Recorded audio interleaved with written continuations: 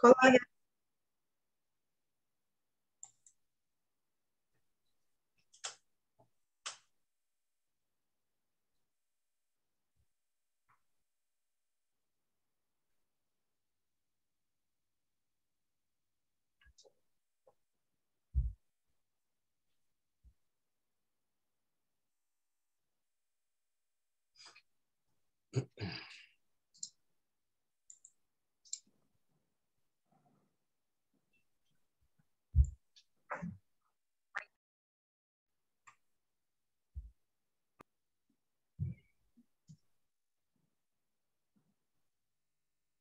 Duruyor.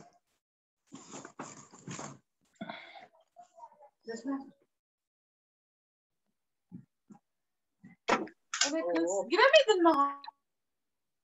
Özgür Demir. Etsene. İyi akşamlar. Ee, tüm katılımcılara hoş geldiniz demek istiyorum. Ee, lütfen mikrofonlarınızı kapatabilirseniz.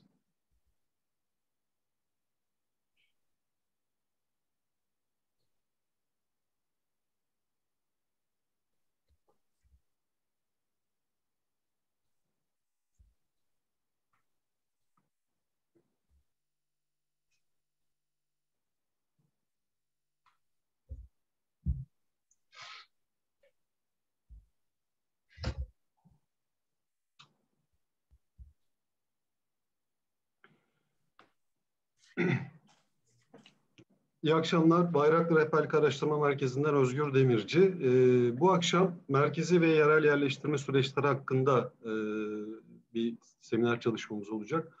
Ee, öncelikle katılmanız için çok teşekkür ediyoruz. Ee, bu çalışmada e, bölgemizde görev yapan ve e, bu kariyer rehberliği sürecini birlikte yönettiğimiz iki arkadaşım e, sizlerle birlikte olacak. E, Sakine Sanal ve e, Salim Kılınçer e, bu çalışmada bizlerle.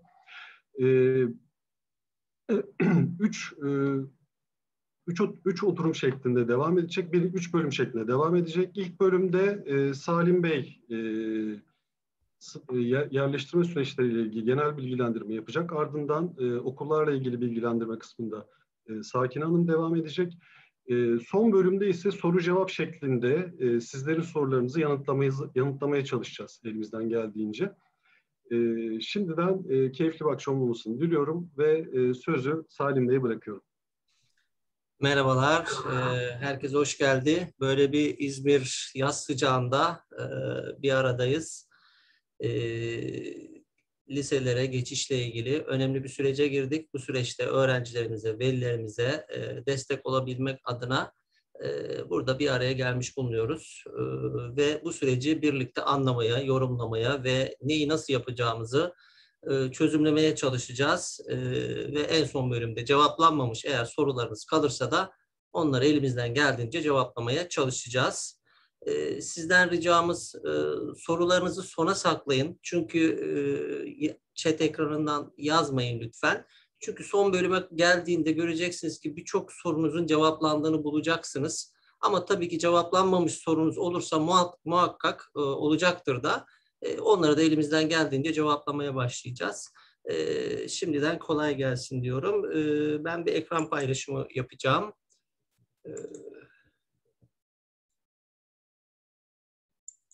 Şekilde.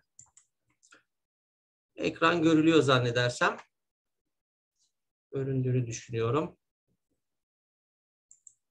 Görünüyor hocam. Tamam. Evet. E, şimdi iyi bir okul seçmek için e, sınav biliyorsunuz bir süreçti öğrencilerimiz için, tabii ki velilerimiz için. Ama artık sonuç alma zamanı e, geldi. İşte doğru tercih süreci de aslında sonuç alabileceğimiz bir dönem ve çok kısa bir dönem.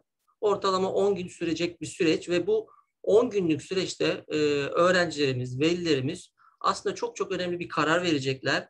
E, tabii ki ellerinde mevcut sınav sonucundaki puanlarına göre, işte ortaokul yıl sonu puanlarına göre seçimlerini yapacaklar. Ama bu seçimleri yaparken e, seçim sadece bizim e, puanımıza, yüzdelik dilimize, dilimimize ya da okulların belli bir sıraya sokulmasıyla yapılan e, bir e, tercih olmamalı. Sadece bu değil e, aslında doğru, doğru tercih yapabilmek. O sadece belli bir sistemin getirdiği bir şey. Aslında doğru tercih yapmak için puan ve yüzdelik dilimden çok öte bir süreç gerektiriyor. İşte bu süreci burada anlatmaya, paylaşmaya, kavratmaya çalışacağız belki de sizlere ki doğru tercihinde doğru sonuçlar elde edelim. Amacımız bu olacak. Evet, bir takım tanımlamalar var. E, karşılaşmışsınızdır. Bir kılavuz yayınlandı, liselere yerleştirme kılavuzu diye. Burada kısa kısa bilgiler var. Ben onları sadece hızlıca geçeceğim. Merkezi sınav puan dediğimiz şey e, öğrencilerimizin LGS'ye girdikten sonra sonuçlar açıklandığında elde ettikleri puana merkezi sınav puanı diyoruz biz. Merkezi yerleştirme ise yine bu merkezi sınav puanına dayanılarak sınavla öğrenci alan, LGS sınavı ile öğrenci alan e, okullara yerleştirme işlemine deniliyor. Okul başarı puanı da OBP denilen puan da öğrencilerimizin 6. sınıf, 7. sınıf ve 8. sınıf yıl sonu notlarının bir araya getirilerek oluşturulan aritmetik ortalamasıyla oluşturulan ve virgülden sonra dört basamak yürütülen puanı anlatıyor. Ee, buna dile getiriliyor. Orta öğretim kayıt analı, alanı da e, biliyorsunuz az sonra bahsedeceğiz.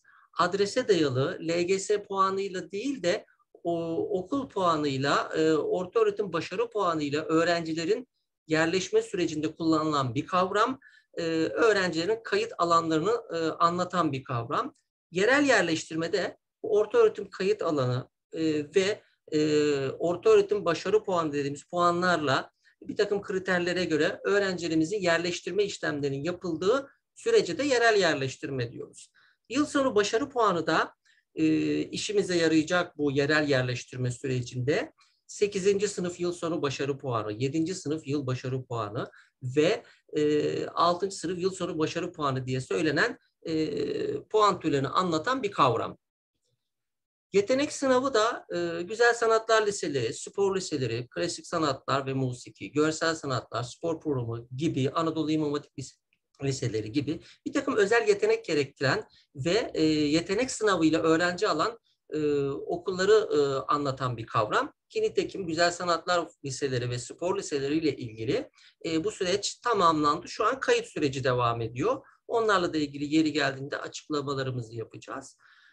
Mülakat sınavı da e, mesleki ve teknik Anadolu liseleri yani sizlerin, öğrencilerimizin, velilerimizin bildiği tabirle meslek liselerinin bazılarında bazı bölümler mülakat sınavı yaparak öğrencileri alıyor.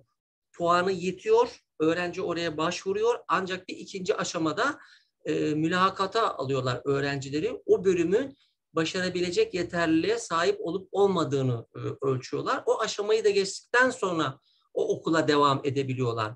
O bölümlerde yiyecek içecek hizmetleri, konaklama ve seyahat hizmetleri gibi bölümler olarak karşımıza çıkıyor. Evet bizim sürecimiz bu şekilde. Şu an karşımızda 30 Haziran itibariyle sonuçlarımız e, bizlere bizlerle paylaşıldı. Öğrendik sınav sonuçlarını.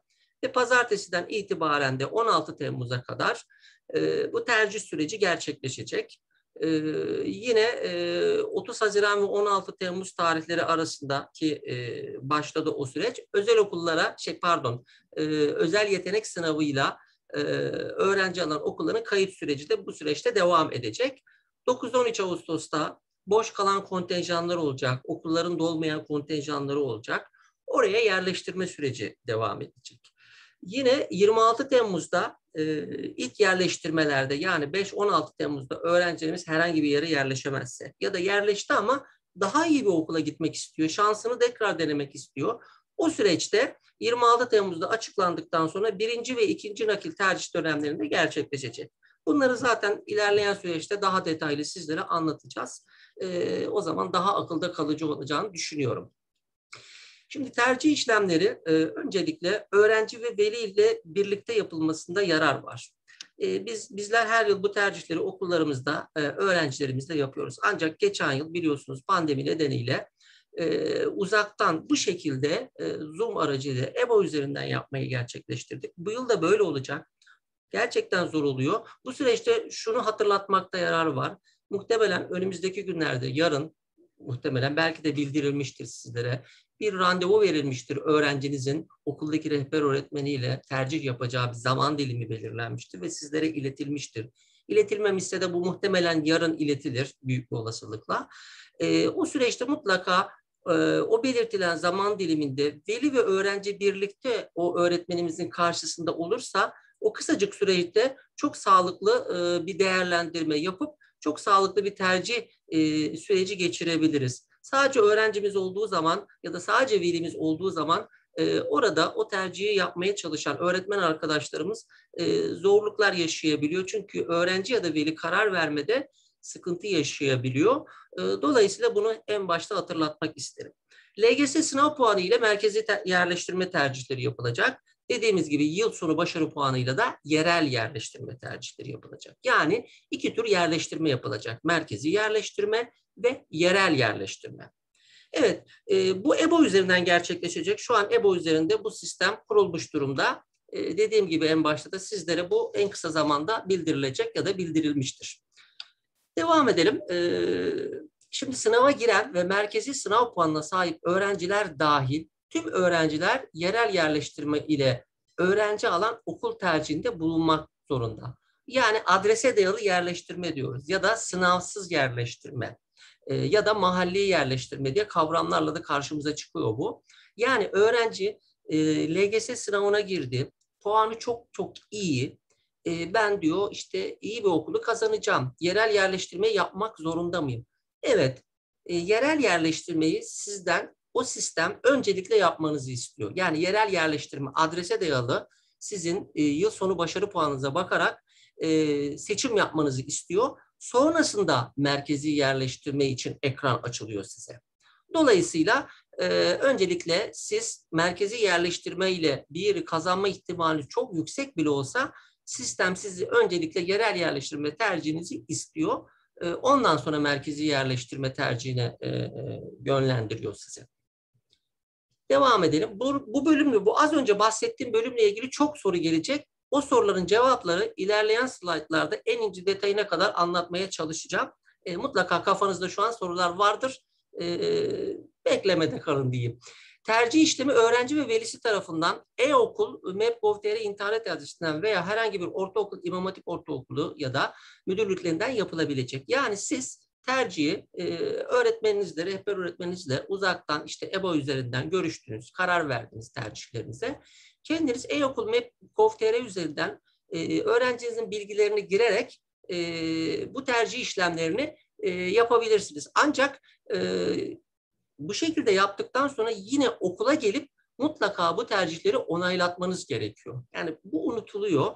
Ee, yani ben tercihlerimi yaptım, orada onay verdim. Tamam benim işim bitti değil. Mutlaka öğrencimizin velisi özellikle, öğrencimizin kendisi olmasa da olur. Öğrencimizin velisi e, herhangi bir ortaokulda olabilir, kendi ortaokulu da olabilir. Çünkü şimdi yaz dönemindeyiz, tatilde olabilirsiniz. E, bu tercihler için e, okula e, onaylamak için gelmenize gerek yok. Bulunduğunuz herhangi bir yerde bir ortaokul buluyorsanız orada da onaylatabilirsiniz. Ya da bazı velilerimiz şöyle diyor ya ben e-okuldan yapmakta tedirginlik yaşıyorum ya da yapamıyorum ya da internet imkanım yok deyip e, okula gelebilir. Okuldaki yetkililer sizlere ilgili bilgisayarlardan yardımcı da olurlar mutlaka. E, o başvurularınızı yapmanızı sağlarlar. Bu şekilde de e, yapabilirsiniz ama mutlaka burada bilinmesi gereken şey siz kendiniz de yapsanız okula da gelseniz size en son bir onay için bir evrak e, okul yöneticisi çıkarıp imzalamanızı istiyor. Tercihlerinizin bulunduğu, kaç tercih yaptığınızı, nereleri tercih ettiğinizi gösteren bir evrak çıkarıp size onaylatıyor, imzalatıyor. Bir örneğini size veriyor, bir örneği okulda kalıyor. O işlemi yaptıktan sonra artık tercih işleminiz tamamlanmış oluyor. Evet, e, özel orta öğretim kurumlarına ve yetenek sınavı ile öğrenci alan okullara kesin kayıt işlemi tamamlamış öğrenciler tercihte bulunmuyor. Evet, e, şimdi mesela yetenek sınavını kazandı, tercihler şey, e, kayıtları yapıyor dedik öğrencilerin 30 Ağustos, şey 30 Haziran ile 16 Temmuz arasında. İşte o Güzel Sanatlar Lisesi'ni kazanan ya da Spor Lisesi'ni kazanan öğrencilerimiz var ise onlar o okullara kayıtlarını yaptırdıkları an artık e, LGS üzerinden herhangi bir tercih e, yapamıyorlar. Çünkü sistem onlara açılmıyor. Çünkü bir liseye yerleşmiş oluyorlar neticede. daha önce yapıp sonra e, özel yetenekle öğrenci alan kazandıkları okula e, gidip kayıt yaparlarsa bu sefer de o tercihleri tekrar siliniyor, e, geçersiz sayılıyor. Çünkü özel e, özel yetenek sınavıyla öğrenci alan bir okula kaydı yapılacağı için. E, devam edelim. Yani şu olmuyor. Bazı e, özel yetenekle öğrenci alan e, okullara giden öğrenciler şunu düşünüyorlar. Ya ben özel yetenek sınavıyla bir okulu kazandım. O cepte kaydımı yaptıracağım. Ama ben bir şansımı deneyeyim şu merkezi sınav puanıyla. Belki Atatürk'ü kazanırım. Orayı kazanamazsam e, şeye giderim. İşte yetenek sınavıyla kazandığım yere. E, olmuyor. Çünkü süreç 16 Temmuz'da ikisi birlikte sona eriyor. Öğrenci e, birinden birini tercih etmek zorunda maalesef. Evet, e, tercih işlemleri bu şekilde gerçekleşiyor. E, öncelikle e, az önce anlatmaya çalıştığım şeylerin daha derli toplu olan bir hali. Yerel yerleştirme ile öğrenci alan en fazla 5 okula tercih yapabiliyorsunuz. Merkezi sınavla öğrenci alan en fazla 10 okulu tercih edebiliyorsunuz. Aynı zamanda İzmir'in için konuşalım. Bazı okullarda pansiyonlar var. Pansiyonlu kalabiliyor öğrenciler. Ama bu bölümler daha doğrusu o ayrılan pansiyonlu kontenjanlar daha çok İzmir'in de ikamet etmeyen, İzmir dışından okulları tercih eden öğrenciler için daha çok ayrılıyor. O koşulları sağlayan öğrenciler bu şekilde tercihte bulunuyor. Onun için de 5 okul tercihinde bulunuluyor. Yani toplamda bir öğrenci en fazla 20 okul tercih edebiliyor. Evet, öğrenciler merkezi sınavla öğrenci alan okullarıyla pansiyonlu okullar grubundan tercihte bulunabilmesi için yerel yerleştirme tercihi yapması zorunlu. Bunu da söylemiştik zaten. Ee, sınava katılmayan öğrencilere zaten merkezi sınavla öğrenci alan okullar kısmı ekran olarak açılmıyor. O öğrencilerimiz, çünkü sınava girmeyen öğrencilerimiz de var. O öğrencilerimiz sadece merkezi sınav değil, yerel yerleştirme ile ilgili tercihlerini tamamlayıp e, başvuru sürecini, tercih sürecini tamamlamış oluyor öğrencilerimiz. Evet, e, evet merkezi yerleştirme, e, LGS sınav puanına göre yerleştirme yapılacak burada. Nasıl bir yerleştirme yapılıyor ona bakalım isterseniz. Ee, bir saniye. Evet, e, merkezi yerleştirme ile yani LGS puanı ile öğrencilerimiz hangi okulları tercih edebilir? Fen liseleri, sosyal bilimler liseleri, Anadolu liseleri, mesleki teknik Anadolu liseleri, Anadolu İmam Hatip liseleri, sınav puanı ile alan özel %100 burslu meslek liseleri var. Sınav puanı ile öğrenci alan, burslu alan özel okullar. Bu okulları öğrencilerimiz elde ettikleri LGS sınav puanına göre e, içinden seçerek en fazla 10 tane tercihte bulunabiliyorlar. Bu 10 tercihin hepsi Anadolu Lisesi de olabilir ya da hepsi Fen Lisesi de olabilir ya da hepsi sosyal bilimler de olabilir ya da karma da olabilir. Öyle bir kıstas ya da e, sınırlandırma bulunmuyor. Evet, e, bu nereden buraya geldi? Şimdi ben aslında bunu başta gösterecektim size. Küçük bir karışıklık olmuş benim ekranımda.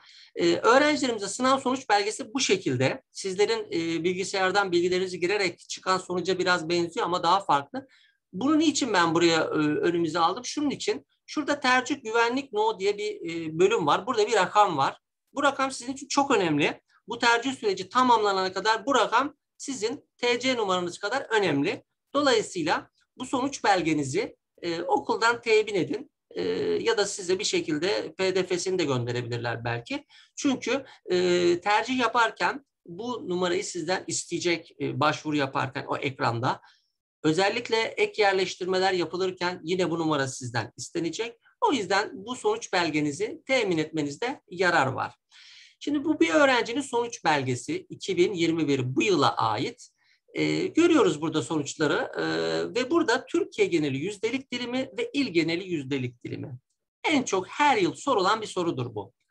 E, hangisine bakarak tercih yapacağız? Genellikle il geneli yüzdelik dilimi daha kötüdür. Çünkü burada rakam büyüdükçe bizim durumumuzun daha kötü olduğunu anlatır. Rakam küçüldükçe bizim durumumuzun daha iyi olduğu anlatılır. Yüzdelik dilim kavramı şuna e, denk geliyor. Yani 100 kişi içerisinde kaçıncı sıradasınız diye size anlatan bir kavram bu.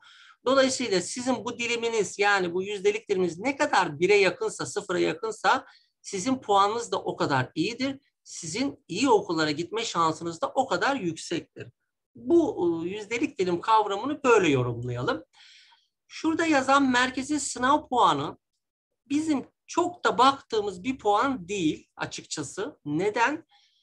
Çünkü her yıl sınavın zorluk derecesi, her yıl sınava giren öğrenci sayısı, hemen hemen her yıl okulların kontenjan sayıları değişkenlik gösteriyor.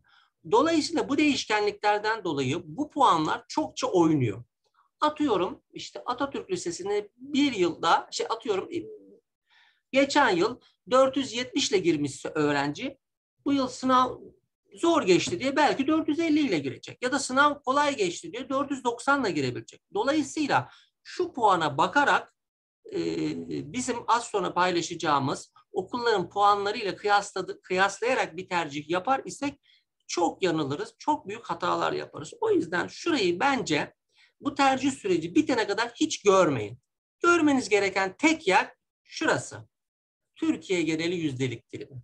Peki neden il geneli yüzdelik dilimine bakmıyoruz da Türkiye geneli yüzdelik dilimine bakıyoruz? Biz metropol e, ilçedeyiz, şey metropoldeyiz. Aynı zamanda e, büyük şehirde yaşıyoruz. Büyük şehirde e, yaşadığımız için bu şehirdeki okullara tüm Türkiye'den tercihler yapılabiliyor ve çok fazla sayıda öğrenci kitlesine sahibiz.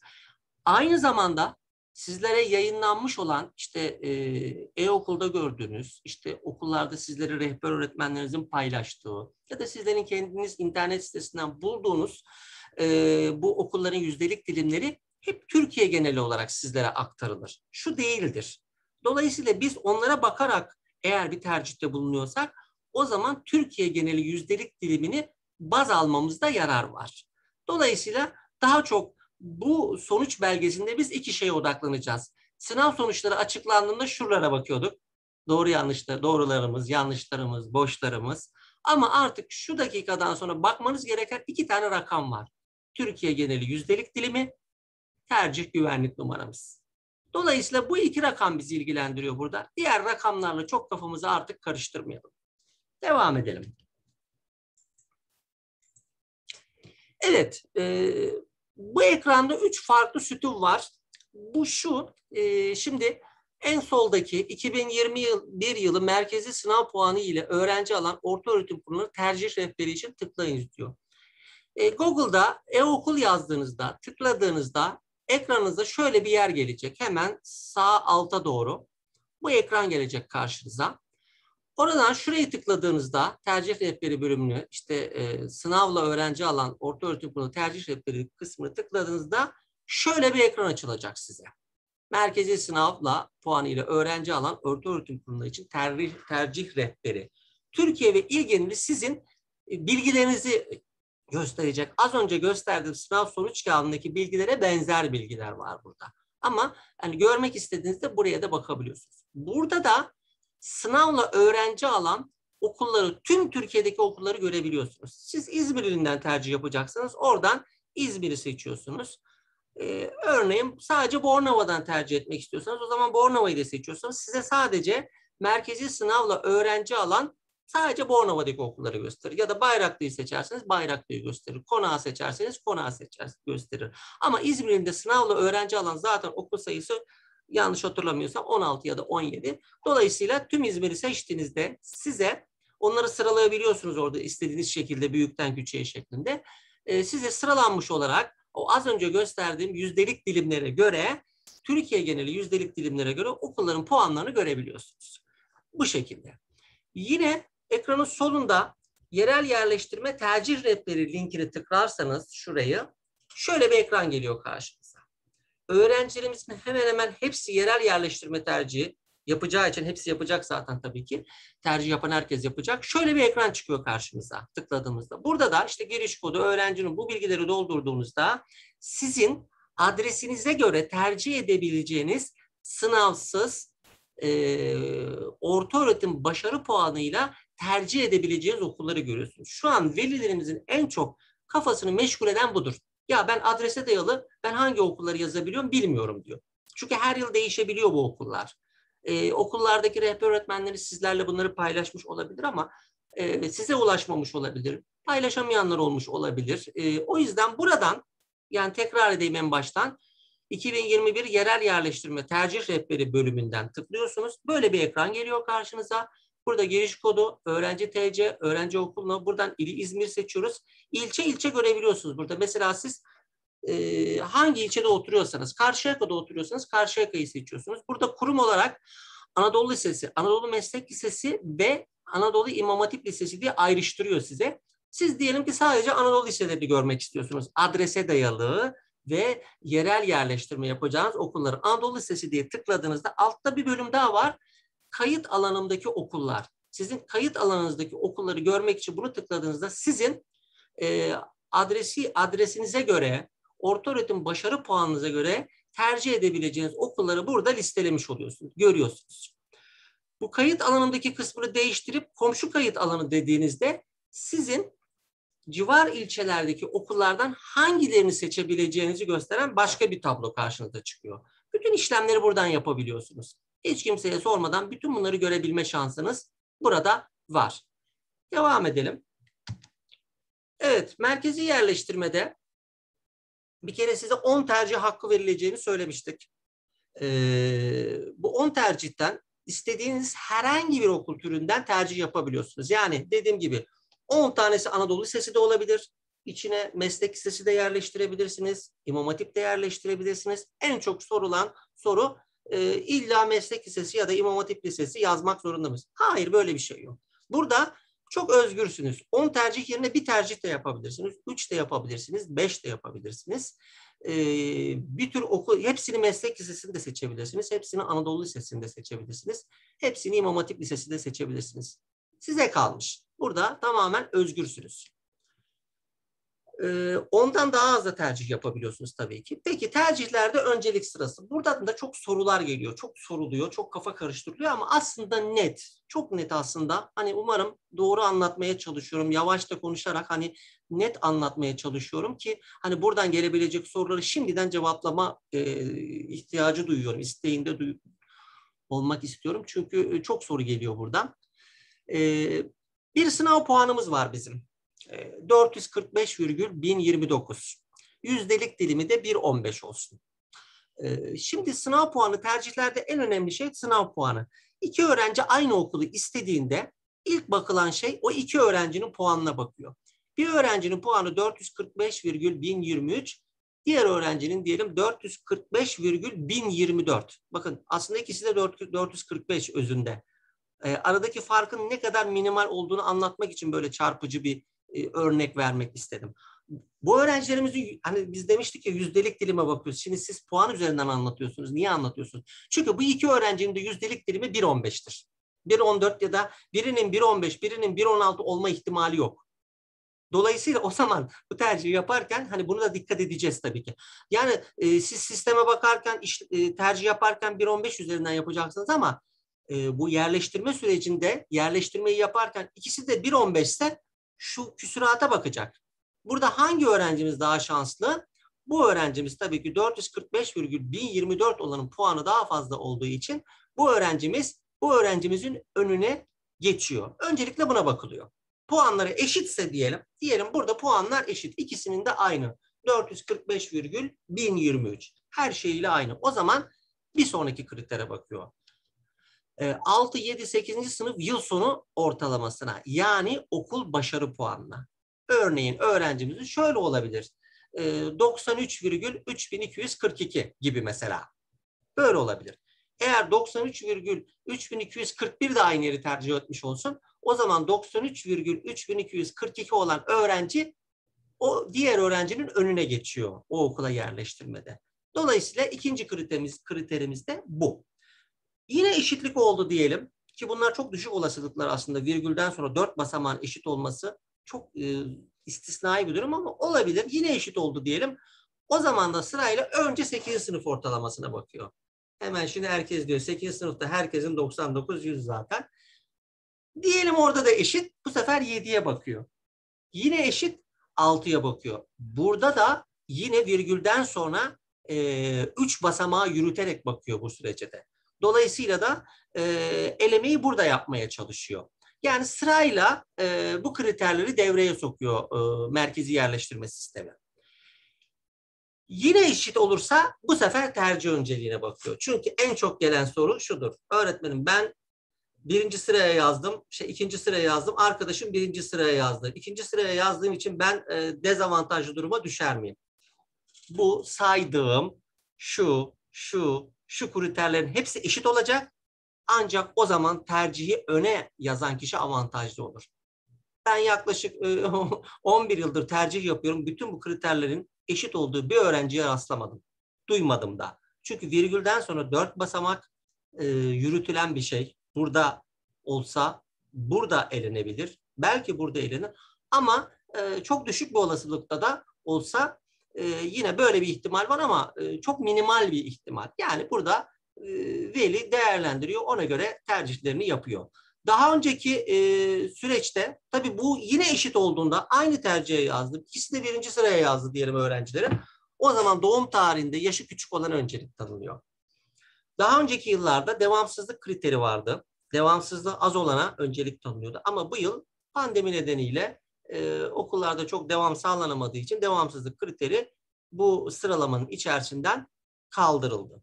Dolayısıyla bu sıraya e, bakılıyor merkezi yerleştirmede. Sınav puanı eşitse bu kriterler teker teker devreye giriyor. Devam edelim. Gelelim yerel yerleştirmeye. Umarım merkezi yerleştirme ile ilgili sorulabilecek soruların çoğunu cevapladığımı düşünüyorum ama mutlaka soru olacaktır. Yine e, elimizden geldiğince cevaplamaya çalışırız. Yerel yerleştirmede üç farklı okul türünü öğrenciler seçebiliyor. Bir yerel Anadolu liseleri var, yerel meslek liseleri var, yerel İmam Hatip liseleri var.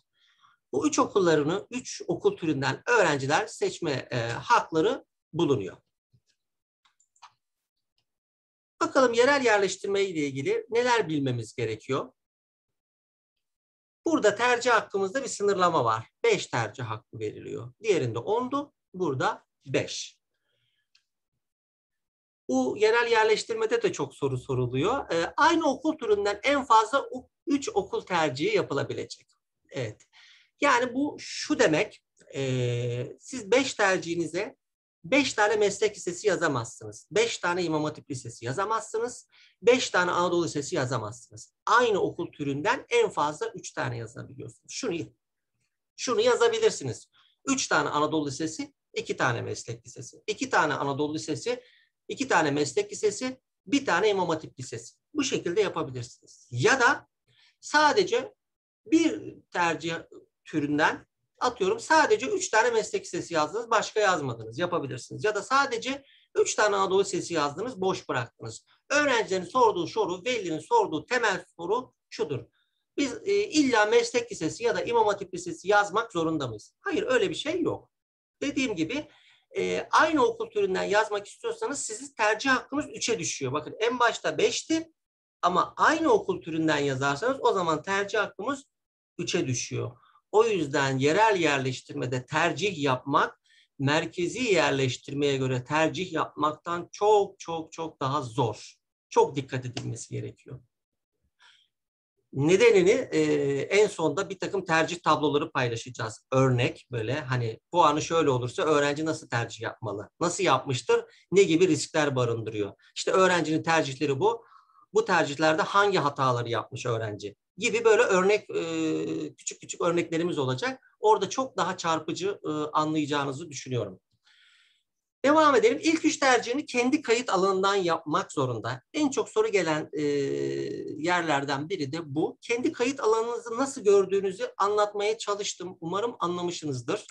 E, zaten okullarda ya da internette e, sizler kendiniz kendi kayıt bölgenizde okulları öğrenebilirsiniz, bulabilirsiniz. E, işte bizim Bayraklı Rehberlik Araştırma Merkezi'nin sitesinde de bunlar mevcut olacak. Zaten bunların linkleri, işte ilgili dokümanlar e, paylaşılacak. Başka rehberlik araştırma merkezleri de aynı şekilde bulundukları bölgelerde paylaştırıyorlar.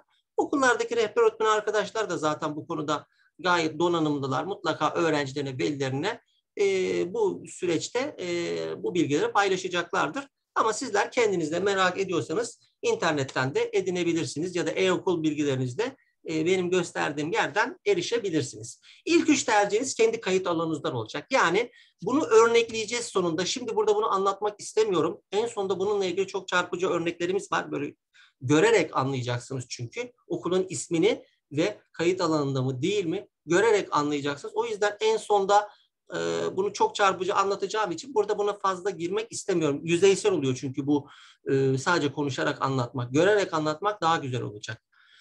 Devam edelim. Birden fazla okul turu istemeyenler sadece Anadolu Lisesi'ni tercih edenler söylemiştim. En fazla üç okul tercih yapacak. E, bunu da e, tekrar yinelemiş olduk. Beş tercih yapmak istiyorsa illa öğrenci ben beşini de kullanacağım diyorsa o zaman örneğin atıyorum 3 Anadolu Lisesi, 2 meslek lisesi seçip tercihini tamamlayacak. Ama üç tanesi bunların kendi kayıt alanından özellikle ilk üç tercih, tercihi kendi kayıt alanından olacak. Bunu örnekleyeceğiz. Ee, yineleyerek e, tekrar tekrar söylüyorum. Çok çünkü bunu detaylı anlatacağım bunu. E, bilmenizde yarar var diye. Peki yerel yerleştirmede tercihlerde öncelik sırası nasıl? Burası da çok önemli aslında. Evet, bir kere adresinin uygunluğu. Bu ne demek? Yani siz Konak bölgesinde oturuyorsunuz. Konak'taki A okuluna 300 öğrenci alınacak adrese göre. E, oraya isteyen 3000 kişi var. Bu 300'ü nasıl hepsinin adresi tutuyor. Diyelim tutmuyor. Adresi tutmayanlar zaten komşu kayıt bölgesi diye gözüktüğü için onlar otomatikman eleniyor. Ama diyelim 300 kişi alacak. 500 kişi e, tercih etti orayı, aynı okulu. E, o zaman başka bir kritere geçmek zorunda. Çünkü diyecek ki hepsinin adresi tutuyor. Ben bu 500 kişiden 300, 300 kişiyi neye göre seçeceğim? Diğer kritere bakacak. Neye bakacak? E, 6, 7, 8. sınıf yıl sonu ortalama puanı. En başta tanımlamalar yapmıştık. Orta öğretim e, yıl sonu başarı puanı diye bir puan söylemiştik. İşte o puan bu. Yani sizin 6, 7, 8. sınıf yıl sonu puanınız oluyor. Bu puanı nereden görebilirsiniz? Siz e-okulda girdiğinizde size anlat anlat göstermiştim. Yerel yerleştirme tercihleri diye tıkladığınızda en sağda o bilgileri doldurduğunuz zaman bunları karşınızda görüyorsunuz zaten. Ee, bazı öğrenciler şöyle yapıyor. Ee, kendi e-okul bilgilerinden, e, veli bilgilendirmeden 6, 7, 8'i toplayıp 3'e bölüyor. Aslında aynı şey çıkıyor. E, farklı bir şey değil. 6, 7, 8, 5. sınıf yok dikkat edin. Burası çok önemli. Çünkü 5. sınıfı da dahil edenler olabiliyor. Bu puana bakacak. Diyelim o 300 kişi içerisinde e, 400 kişinin puanı e, 400 kişinin puanı 500 kişi istedi. İlk 300'e puanı gelenleri o okula yerleştirecek. Ondan sonra e, diğerleri o bölümü kazanam o okulu kazanamamış olacak. O öğrencinin diğer tercihine bakacak. Ama diyelim ki e, en son 300. yerleşen öğrenci ile 301. yerleşen öğrencinin puanı aynı. Hangisini alacak? İkisinin de puanı 81,75-21. Biri 300. sırada, biri 301. sırada. İkisi de hak ediyor aslında okulu. O zaman bir sonraki kritere bakacak. O iki öğrencinin, o iki öğrenciyi kendi içinde değerlendirecek. İki öğrencinin 8. sınıf puanına bakacak. Hangisinin 8. sınıf ortalaması yüksekse onu 300. öğrenci yapacak. Diğeri o okulu kazanamamış olacak. Yine aynıysa 7'ye, yine aynıysa 6'ya. Bu şekilde e, bu kriteri devam ettirecek. Yani ki e, orayı hak eden öğrenciyi bulana kadar. Yani bu sistem gayet düzgün işleyen bir sistem. Gayet hakkaniyetli bir sistem. E, yani hiç kafanızda soru işareti bırakacak bir durum söz konusu değil. E, burada da devamsızlık kriteri vardı. E, devamsızlık kriterine bakıyordu. Bunlar eşit olduğunda ama e, dediğim gibi merkezi yerleştirmede olduğu gibi burada da devamsızlık kriteri e, kaldırıldı pandemi nedeniyle. Zaten bu kriterlerin birinde mutlaka o iki öğrenci arasında eşitlik e, bozuluyor ve hak eden öğrenci o okula yerleşmiş oluyor. Evet bu tercih işlemlerinin e, adrese dayalı ya da yerel yerleştirme dediğimiz tercih işlemleri bu şekilde. Buradaki amaç öğrenciyi kendi adresine yakın okulda tutmaya çalışıyor. Ve ona kendi e, kayıt alanı diyor ve yeşil renkle gösteriyor. Siz o okulları listelediğinizde yerel yerleştirme linkini tıkladığınızda kayıt alanınızdaki okullar yeşil yeşil çıkıyor size. Kayıt alanında kayıt alanında diye yazıyor. Mavi renkte sizi komşu, size yakın ilçeler, bulunduğunuz ilçeye yakın ilçelerdeki okullardan bahsediyor. Diğer de sizin ikametinize en uzak ilçelerdeki okulları diyor. Siz bunların hepsinden seçebilme hakkınız var. Ama neye göre? Hangi kritere göre? Bir kısmını az önce anlattım. Bir kısmını da şimdi anlatmaya devam edeceğim. Devam edelim. Evet bu şekilde. Sizin bu tercih tablonuz olsun. Bu şekilde 5 tane okul. Bakın ilk 3 tercihiniz kayıt alanınızdan olacak. Yani kendi bölgenizden olacak. Bu Anadolu Lisesi de olabilir. Meslek Lisesi de olabilir. İmam Hatip Lisesi de olabilir. Ama tek kural kendi kayıt bölgenizdeki bir okul olacak. Yani e, velilerimiz, öğrencilerimiz şunu diye olabilir. Ya ben kendi kayıt bölgemdeki okulları bilemiyorum. Hani nerelerden bulabileceğinizi anlatmaya çalıştım. Dediğim gibi okullardaki öğretmenleriniz, rehber öğretmenleriniz de bu konuda sizlere zaten e, yeterli desteği sağlayacaktır. Ama nasıl ulaşabileceğinizi de aktarmaya çalıştım. E, çünkü her ilçenin kayıt bölgesi farklı olduğu için biz şimdi hani bu çalışmayı bir ilçeye yapıyor olsaydık e, o ilçenin kayıt bölgesindeki okulları şu an burada gösterirdik. Derdik bu sizin kayıt bölgenizdeki okullar, komşu bölgenizdeki okullar kolay olurdu. Ama biz hani daha çok kitleye ulaşmaya çalıştığımız için e, burada e, bu şekilde örnekleyerek gösteremezdik. O yüzden sadece böyle bir tabloyla göstermekte yarar var. Dördüncü, beşinci tercihinizde yapmak istiyorsanız onlar ister kayıt alanınızdan, ister komşu alanınızdan, ister diğer kayıt alanından e, seçebilirsiniz. Peki e, komşu kayıt alanında olmak e, dezavantajlı mı? Elbette dezavantajlı. Siz mesela dördüncü tercihinize bunu yazdınız. E, başka bir öğrenci kendi kayıt alanındaysa o öğrencinin puanı ne olursa olsun sizin önünüze geçiyor. Çünkü siz o okul için komşusunuz. O okula kendi kayıt alanınızda değilsiniz. Bunu da örnekle anlatmaya çalışacağım. Yani kendi kayıt alanınızdan okulları seçmekte yarar var şansınızı arttırma adına. Şöyle bir örnek vereyim mesela bize en yakın. Öğrenci e, Bayraklı'daki bir okulu yazıyor. Hmm, Örneğin bilindik bir okul Mustafa Kemal Anadolu Lisesi ve Bayraklı'da ikamet ediyor. Bu kendi kayıt alanında. Ve puanı 80. Bornova'daki bir öğrenci de Mustafa Kemal'i yazmak istiyor. Bir şekilde ilk üç tercihine yazmıyor zaten. Dördüncü sıraya yazdı diyelim. Bu komşu kayıt alanında ve puanı 99. Sistem burada puanı 70 olan ya da 60 olan kendi kayıt bölgesindeki öğrenciyi yerleştirir.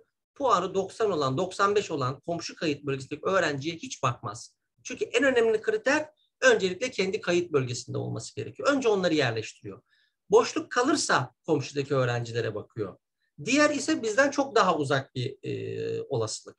O yüzden seçimlerimizi daha çok kendi kayıt alanımızdan yapmaya tercih edelim. Evet bu mesela şu şekilde o tabloları açtığınızda karşınıza bakın kayıt alanında kayıt alanında diye böyle bir tablo çıkacak. Bunlar adrese dayalı Bayraklı'daki okullar. Bayraklı ikametinde oturan bir öğrencinin ekranı bu. Ve böyle bir ekran karşınıza çıkacak. Tercih yaparken kendiniz bilgisayardan açtığınızda e-okulda işte yerel yerleştirme tercihi yapıyorum diyelim. Dolayısıyla e, burada tercihlerime ekle butonu dediğinizde o, o tercihi tercihlerinize eklemiş oluyorsunuz. Şuradaki soru işareti de e, bu okulla ilgili size detaylı bilgi veriyor. Yani bu ekran bu şekilde. Bu da komşu kayıt alanında bölünen gözüken bölüm. Buna da bu şekilde dikkat edebiliriz. Evet tercih işlem, işlemleri için e, biliyorsunuz okullarımızda bazı özel eğitim ihtiyacı olan e, öğrencilerimiz olabiliyor. Öğrenmede güçlük yaşayan öğrencilerimiz olabiliyor. Bu öğrencilerimiz de tercihlerini yaparlarken e, onların bir raporu var. E, Çözger raporu, özel gereksinimli öğrenci raporu.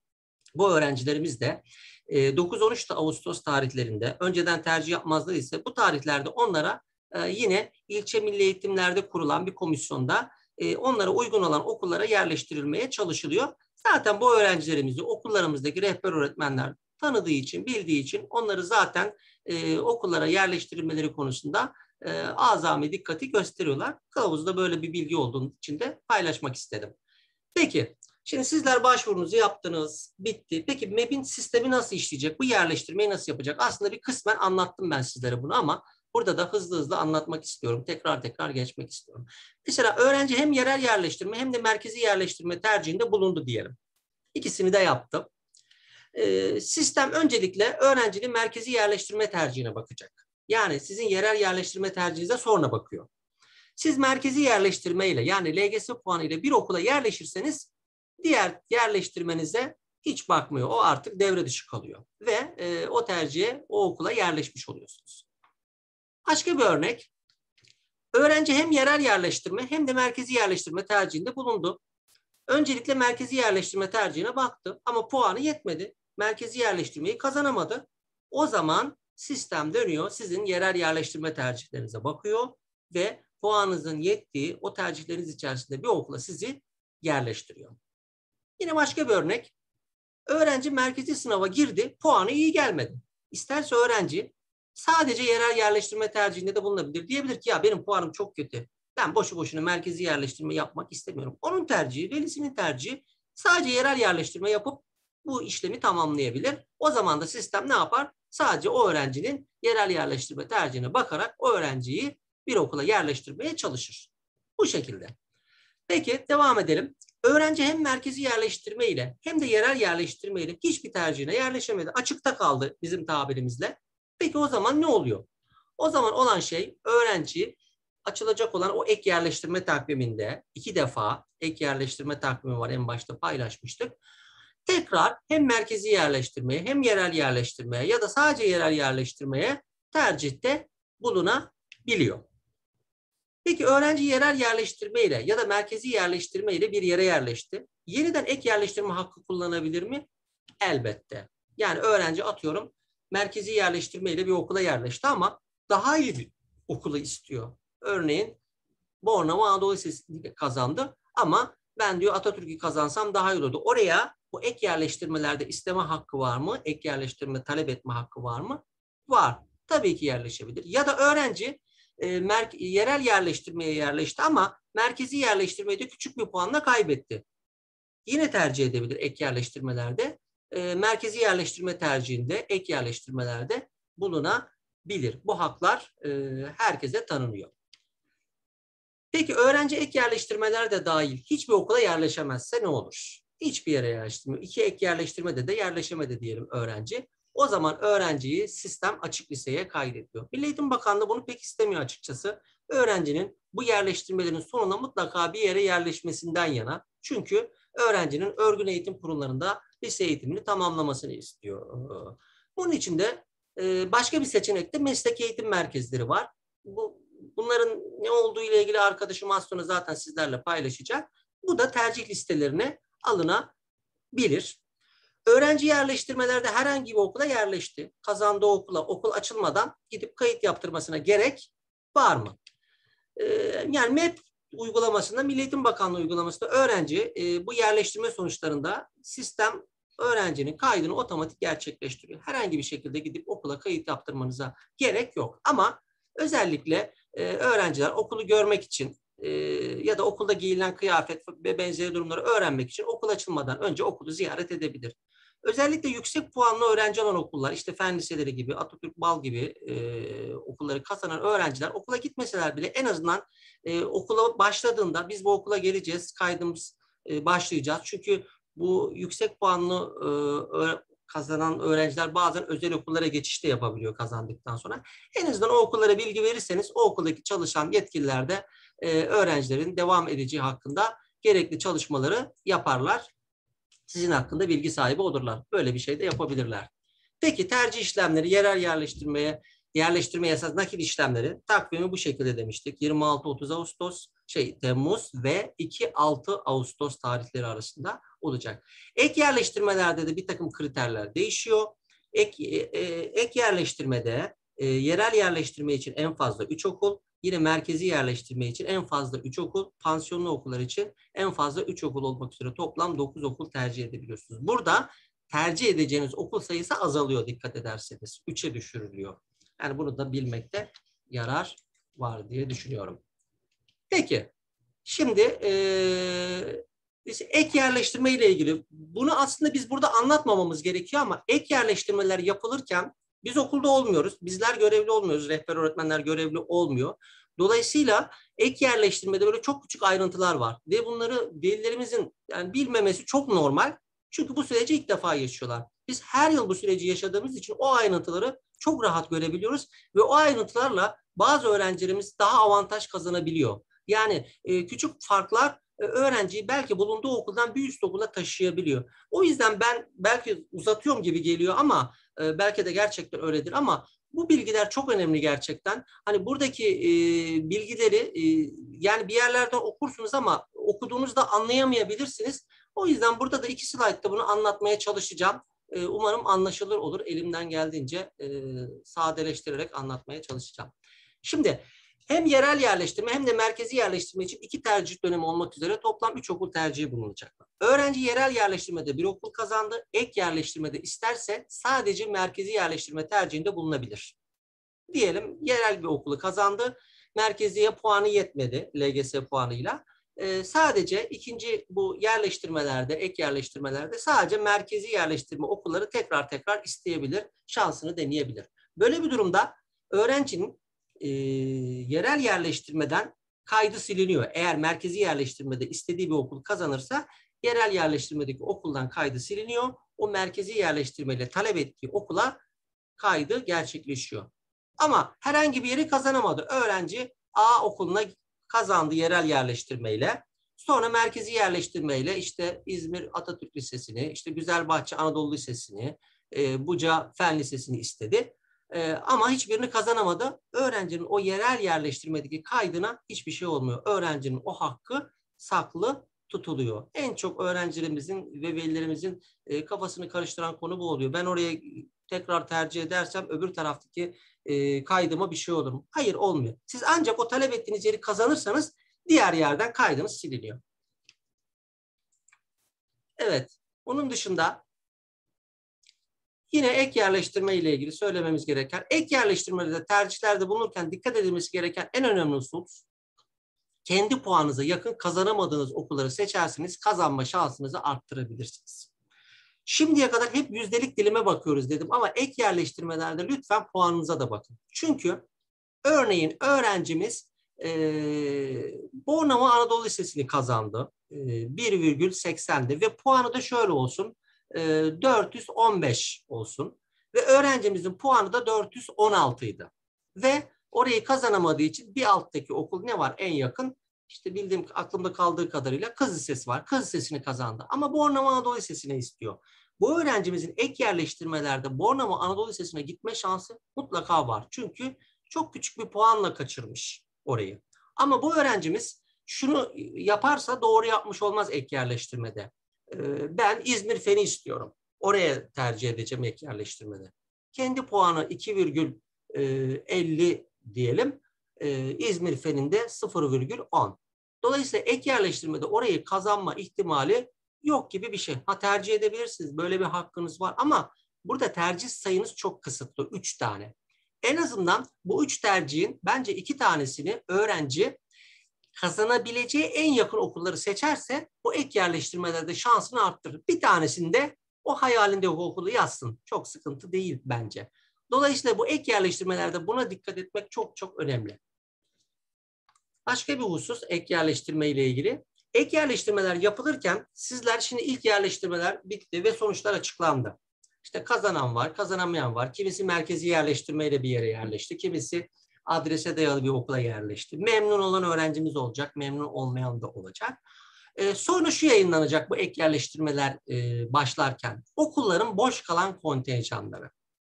Özellikle merkezi yerleştirmelerde şunu göreceksiniz. Hemen hemen hiçbir merkezi yerleştirme okulunun e, kontenjanında boşluk görmeyeceksiniz. Hepsinin karşısında sıfır göreceksiniz. Siz orada sıfır görseniz bile e, o istediğiniz okulları tercih etmeniz gerekiyor. Edebilirsiniz yani o hakkı tanıyorsunuz. Çünkü o okulların bazılarından bazı öğrenciler çünkü orada bir oynama olması gerekiyor. Beşinci sıradaki okul dördüncü sıraya çıkarsa altıncı sıradaki de beşinci sıraya çıkar. Böyle bir sirkülasyon olması gerekiyor. Bazen bu okullarda öğrenciler bazıları özellikle yüksek puanlı olan okullarda özel okullara geçiş yapabiliyor. Şansını deniyor. istediği okul olmuyor. Bir altı oluyor. Ya diyor ben buraya gitmeyeyim özel okula gideyim diyor. O zaman ne oluyor? O öğrencinin oradaki kontenjanı açılıyor. Siz o an sıfır görüyorsunuz ama o öğrenci de ek yerleştirmelerde bu kararı veriyor. Dolayısıyla o sıfır olan bir olabiliyor. Dolayısıyla bu ek kontenjanlara e, sıfır olsa da isteme hakkınız var. Tabii ki o kontenjan ne kadar fazlaysa orada şansınız o kadar fazla olabilir.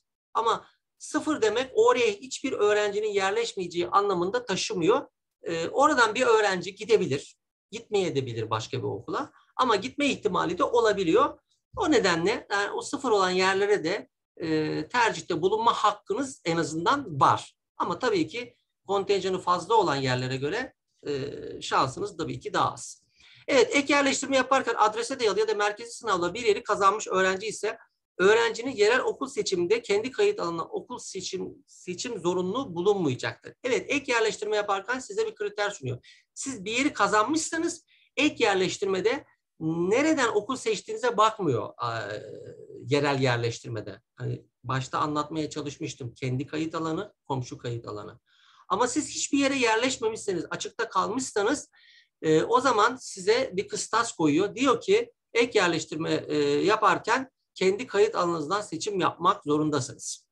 Evet ek yerleştirme yaparken bunu anlatmaya çalışıyorum. Açıkta kalmışsa öğrenci yapması gereken şey e, okul seçiminde e, en azından ilk ikisini kendi kayıt alanından seçme zorunluluğu var. Hani burayı tekrar anlatmaya çalışayım.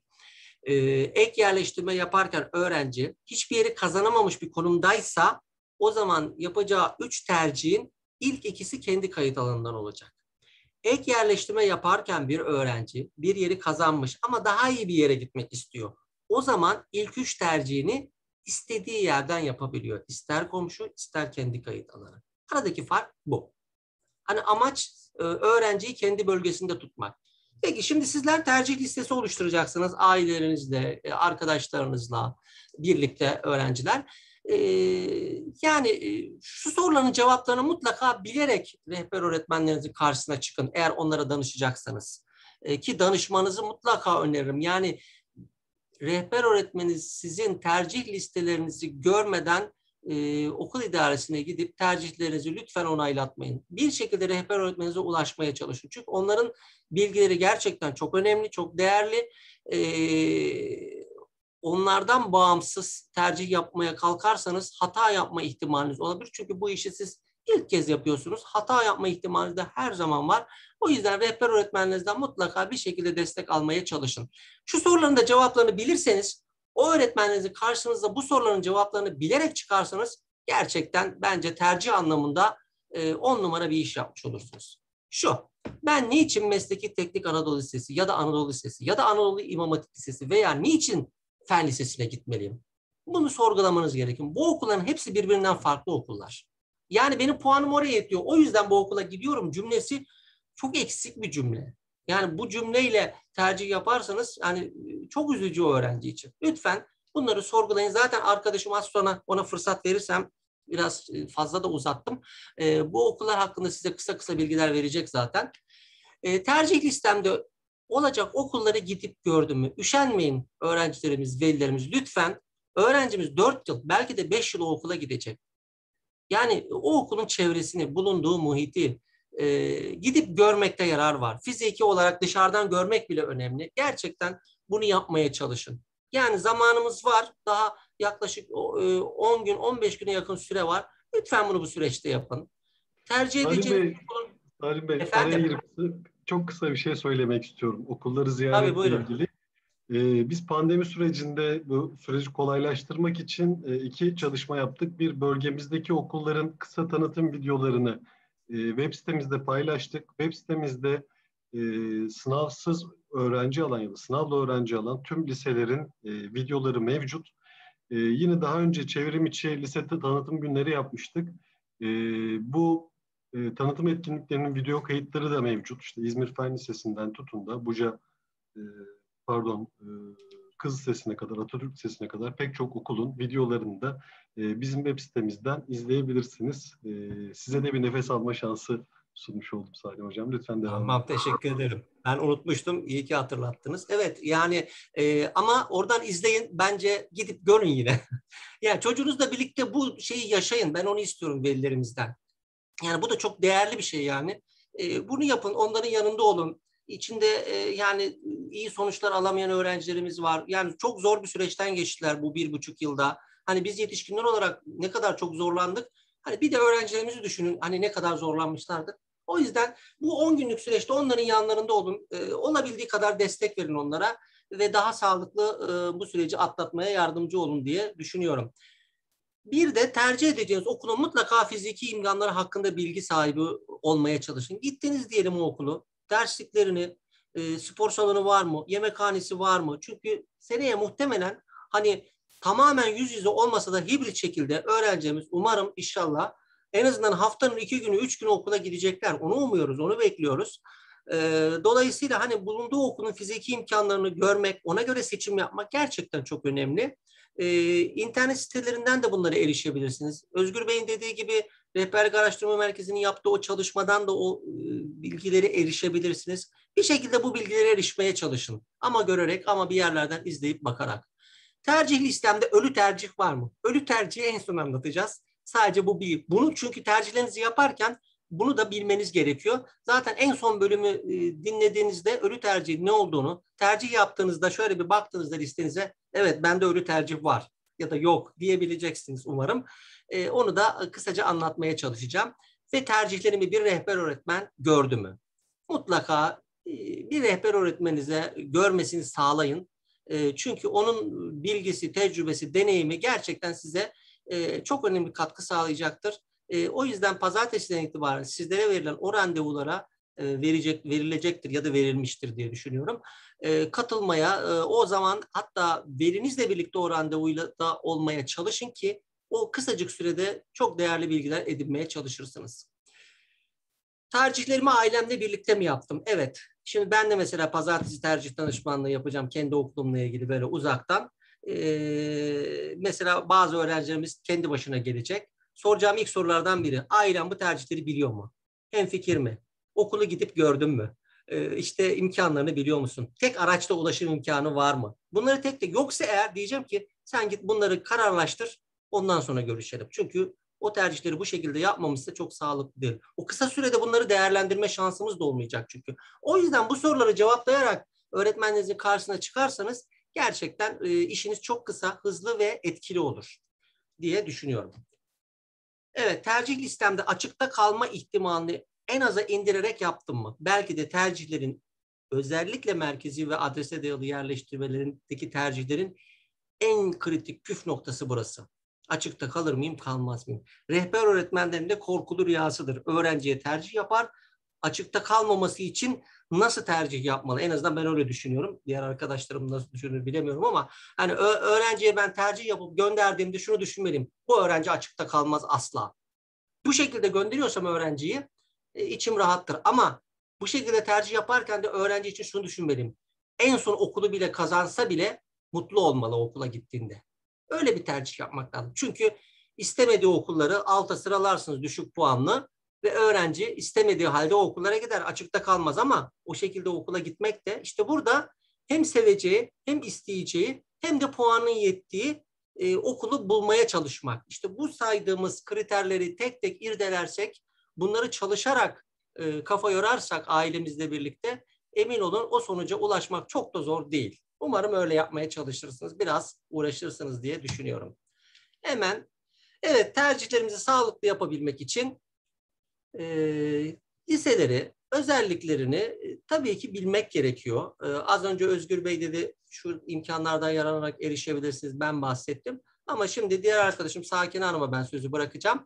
O size okullarla ilgili bir takım bilgileri paylaşacak. Okulların özellikleri hakkında bir takım bilgilerden e, aktarmaya çalışacak. Söz sende öğretmenim. Teşekkür ederiz. Öncelikle ağzına sağlık Salim Hocam. E, herkese iyi akşamlar diliyorum. E, çok yoğun bir döneme giriyoruz doğal olarak tercih dönemi. Bir saniye ben sunumumu paylaşayım.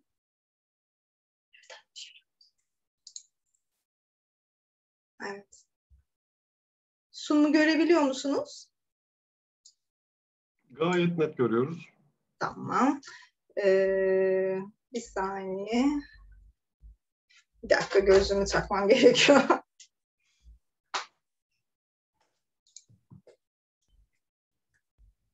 Neredeydi o? Evet. Şimdi öncelikle e, şunu anlatmam gerekiyor ki etmez. Hangisi? Pardon çok özür diliyorum. Kamerayı kapatabilir Çok özür.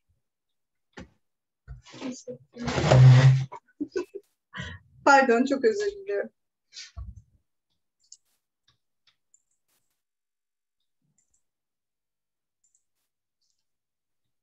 Şimdi tercihler döneminde aslında birçok alternatifimizin olduğunu hepimizin bilmesi lazım. Şimdi Salim Hocam teknik anlamda birçok e, özelliği tek tek anlattı. Tercih nasıl yapılır, merkezi tercihler nasıl yapılıyor, yerel yerleştirmede nelere dikkat etmeliyiz gibi gibi. Bu tercih listelerini ayrıntılı olarak Salim Hocam anlattı. Yalnız şunu da unutmamamız gerekiyor ki biz evet tercih listelerini oluştururken bir istek listesi oluştururuz. Biraz sonra Salim Hocam tekrar iletecektir. Bir istek listesi oluştururuz. Bize de teknik listemiz oluşur. Bu istek listesinde çocuğumuzun yani daha doğrusu öğrencimizin e, kendini tanımasını, gelecek planlamasının neler olduğunu, e, ailesiyle birlikte tartışmasını ve kendi özelliklerine göre de tercihler oluşturmasını bekliyoruz. Bizim temel amaçlarımızdan bir tanesi budur. Şimdi e, birçok okul alternatifimiz var. Biraz önce Salim Hocam saydı e, fen lisenin sınavla girilen okullar için söylüyorum. Fen liseleri, sosyal bilimler lisesi, Anadolu liseleri gibi. Bu alanlarda bile yüzdelik diliminiz, puanınız yeterli olsa bile sizin kişilik özellikleriniz, becerileriniz neye uygunsa siz bu alanlarla ilgili okulları tercih etmek durumundasınız ki gelecek planlamalarınız buna göre daha e, güvenilir, daha mutlu edici ve sizin istediğiniz noktaya ulaşmanızı sağlayacak tipte olsun. Ee, öncelikle fen liseleri tabii ki yüzdelik dilim olarak en yüksek tercihte bulunulan e, okullardan bir tanesi. Fen lisesini tercih edecek öğrencinin fen, özellikle fizik, kimya, biyoloji ya da matematik alanlarında yetenekli olmaları ve bu alanda daha detaylı bilgilere sahip olmak istemeleri bizim için çok önemli laboratuvarda çalışmayı seven, bilimsel ve teknolojik gelişmeleri seven, takip eden, bu ortamlarda farklı bilimsel araştırmalarla kendini yormak isteyen öğrenciler için fen liseleri en uygun okullardan bir tanesi. Fen liseleri 4 yıldır, 4 yıllıktır. Hazırlık bölümü yoktur yatılı ve karma okullardır. E, tabii ki devlet okullarının fen liseleri olduğu gibi özel okulların fen liseleri de vardır. Bunlar bireysel olarak aileler tarafından araştırılabilir. E, araştırma yapacak düzeyde de İngilizce seviyesini vermek ister fen liseleri ve fen liselerini, e, resmi fen liselerini ogmm.gov.tr adresinden de bulabilirsiniz. Şimdi e, şuna çok dikkat etmemiz gerekiyor. Kontenjanlarla ilgili farklılıklar oluşmaya başladı. Geçen sene e, giren öğrenci sayısı, sınava giren öğrenci sayısı fazlaydı bildiğiniz gibi. O yüzden de kontenjanlarda artış söz konusu oldu. E, bu sene tekrar bir önceki sene yani 2019'daki kontenjanlara geri dönüldü. Kontenjan sayıları birazcık düştü. E, fen liselerinde de öyle, diğer okullarda da öyle. Bu yüzdelik dilimleri oynatır mı gibi bir soru gelebilir oynatmasını bekliyoruz ama çok büyük oynamalar olmayabilir. E, velilerimizin ve öğrencilerimizin bunu bilmesi gerekiyor. E, İzmir Fen Lisesi e, İzmir'in en yüksek puanı alan e, okuludur. Buca e, İnci Özel Tırnaklı Fen Lisesi, Çiğli Fen Lisesi gibi gibi Ödemiş ve Menemen olmak üzere sıralanıyorlar. E, yalnız bunlara baktığımız zaman yüzdelik dilim olarak İzmir Fen Lisesi 0-10'la e, öğrenci alırken en düşük e, Menemen e, Şehit Ahmet Özsoy Fen Lisesi 4.08 ile alıyor. Bunun arasında çok daha farklı okulların yer aldığını da e, sizler de biliyorsunuz. Alternatifler arasında olabiliyor. Şimdi fen liselerindeki öğrenci gibi düşünün. Fene ağırlıklı olan öğrenciler, sayısal gruba ağırlıklı öğrenciler dışında e, sosyal bilimlere, edebiyata, tarihe, coğrafyaya meraklı olan birçok öğrencimiz var. Bu öğrenciler için de Sosyal Bilimler Lisesi açılmış. Bu öğrencilere ilgi ve yeteneklerine göre e, üst düzeyde yetiştirmek ve yüksek öğretimi hazırlamak temel amaç. Bu okulların çoğunda bir yıl hazırlık söz konusu e, ve e, bizim e, İzmir ili çerçevesinde de Buca'da, Urla'da, Tire'de olmak üzere sosyal bilimler liselerimiz var yeni bir değişiklik olarak şunu söyleyebilirim. Buca Mehmet Akif Ersoy Lisesi, e, Sosyal Bilimler Lisesi bu sene hazırlık sınıfını kaldırdı. Normalde bir yıl hazırlık ve dört yıl e, olarak e, gündemdeydi. Bu sene hazırlık sınıfı yok. Urla'da devam ediyor. Tire'nin özelliğini anlatmamız lazım. Tire'de iki tane e, Sosyal Bilimler Lisesi e, alanı oluştu. Bir tanesi hazırlıklı, bir tanesi hazırlıksız. Puanlamaları değişebilir. Buna dikkat et, etmeniz lazım. Tercih ederken kod numaraları değişecektir. Yani iki tane tercihiniz oluşacaktır. Bu yüzden sizin e, buna dikkat etmeniz gerekiyor. Hazırlık sınıfı olan e, Sosyal Bilimler e, Lisesi'ni mi tercih edeceksiniz yoksa hazırlığı olmayanı mı tercih edeceksiniz? Bunu ailelerinizle görüşmeniz lazım. Hazırlık sınıfında e, İngilizce hazırlıksa Toplamda zannedersem 40 saat ders görüyorlar haftada öğrenciler. Bunların 20 saati İngilizce ise hazırlık, 20 saat İngilizce, geri kalan 20 saat ise işte matematik, e, Türk Dili ve Edebiyatı, beden, resim, müzik, e, ikinci yabancı dil ve bir saat rehberlik olmak üzere toplamda 40 saat e, bir e, sistemin içinde yer alıyorlar. E, ama hazırlık sınıfını okuyup okumama tamamen ya da isteyip istememe bireysel ve aileyle olan verecek karardır. Şunu da yapabiliyorsunuz. Hazırlık sınıfına gidersiniz ama sizin İngilizceden seviyeniz zaten yüksektir. B1 seviyesinde olunması gerekiyor zannedersem. Sertifikasyonu vardır. Size bir sınava alıyorlar. O sınavda eğer yeterli barajı açarsanız 9. sınıfa da başlayabiliyorsunuz. O sınava girdikten sonra e, ve hepimizin de çok iyi bildiği ve çok fazla da tercih ettiğimiz ve e, sayı olarak daha fazla olan e, Anadolu liseleri.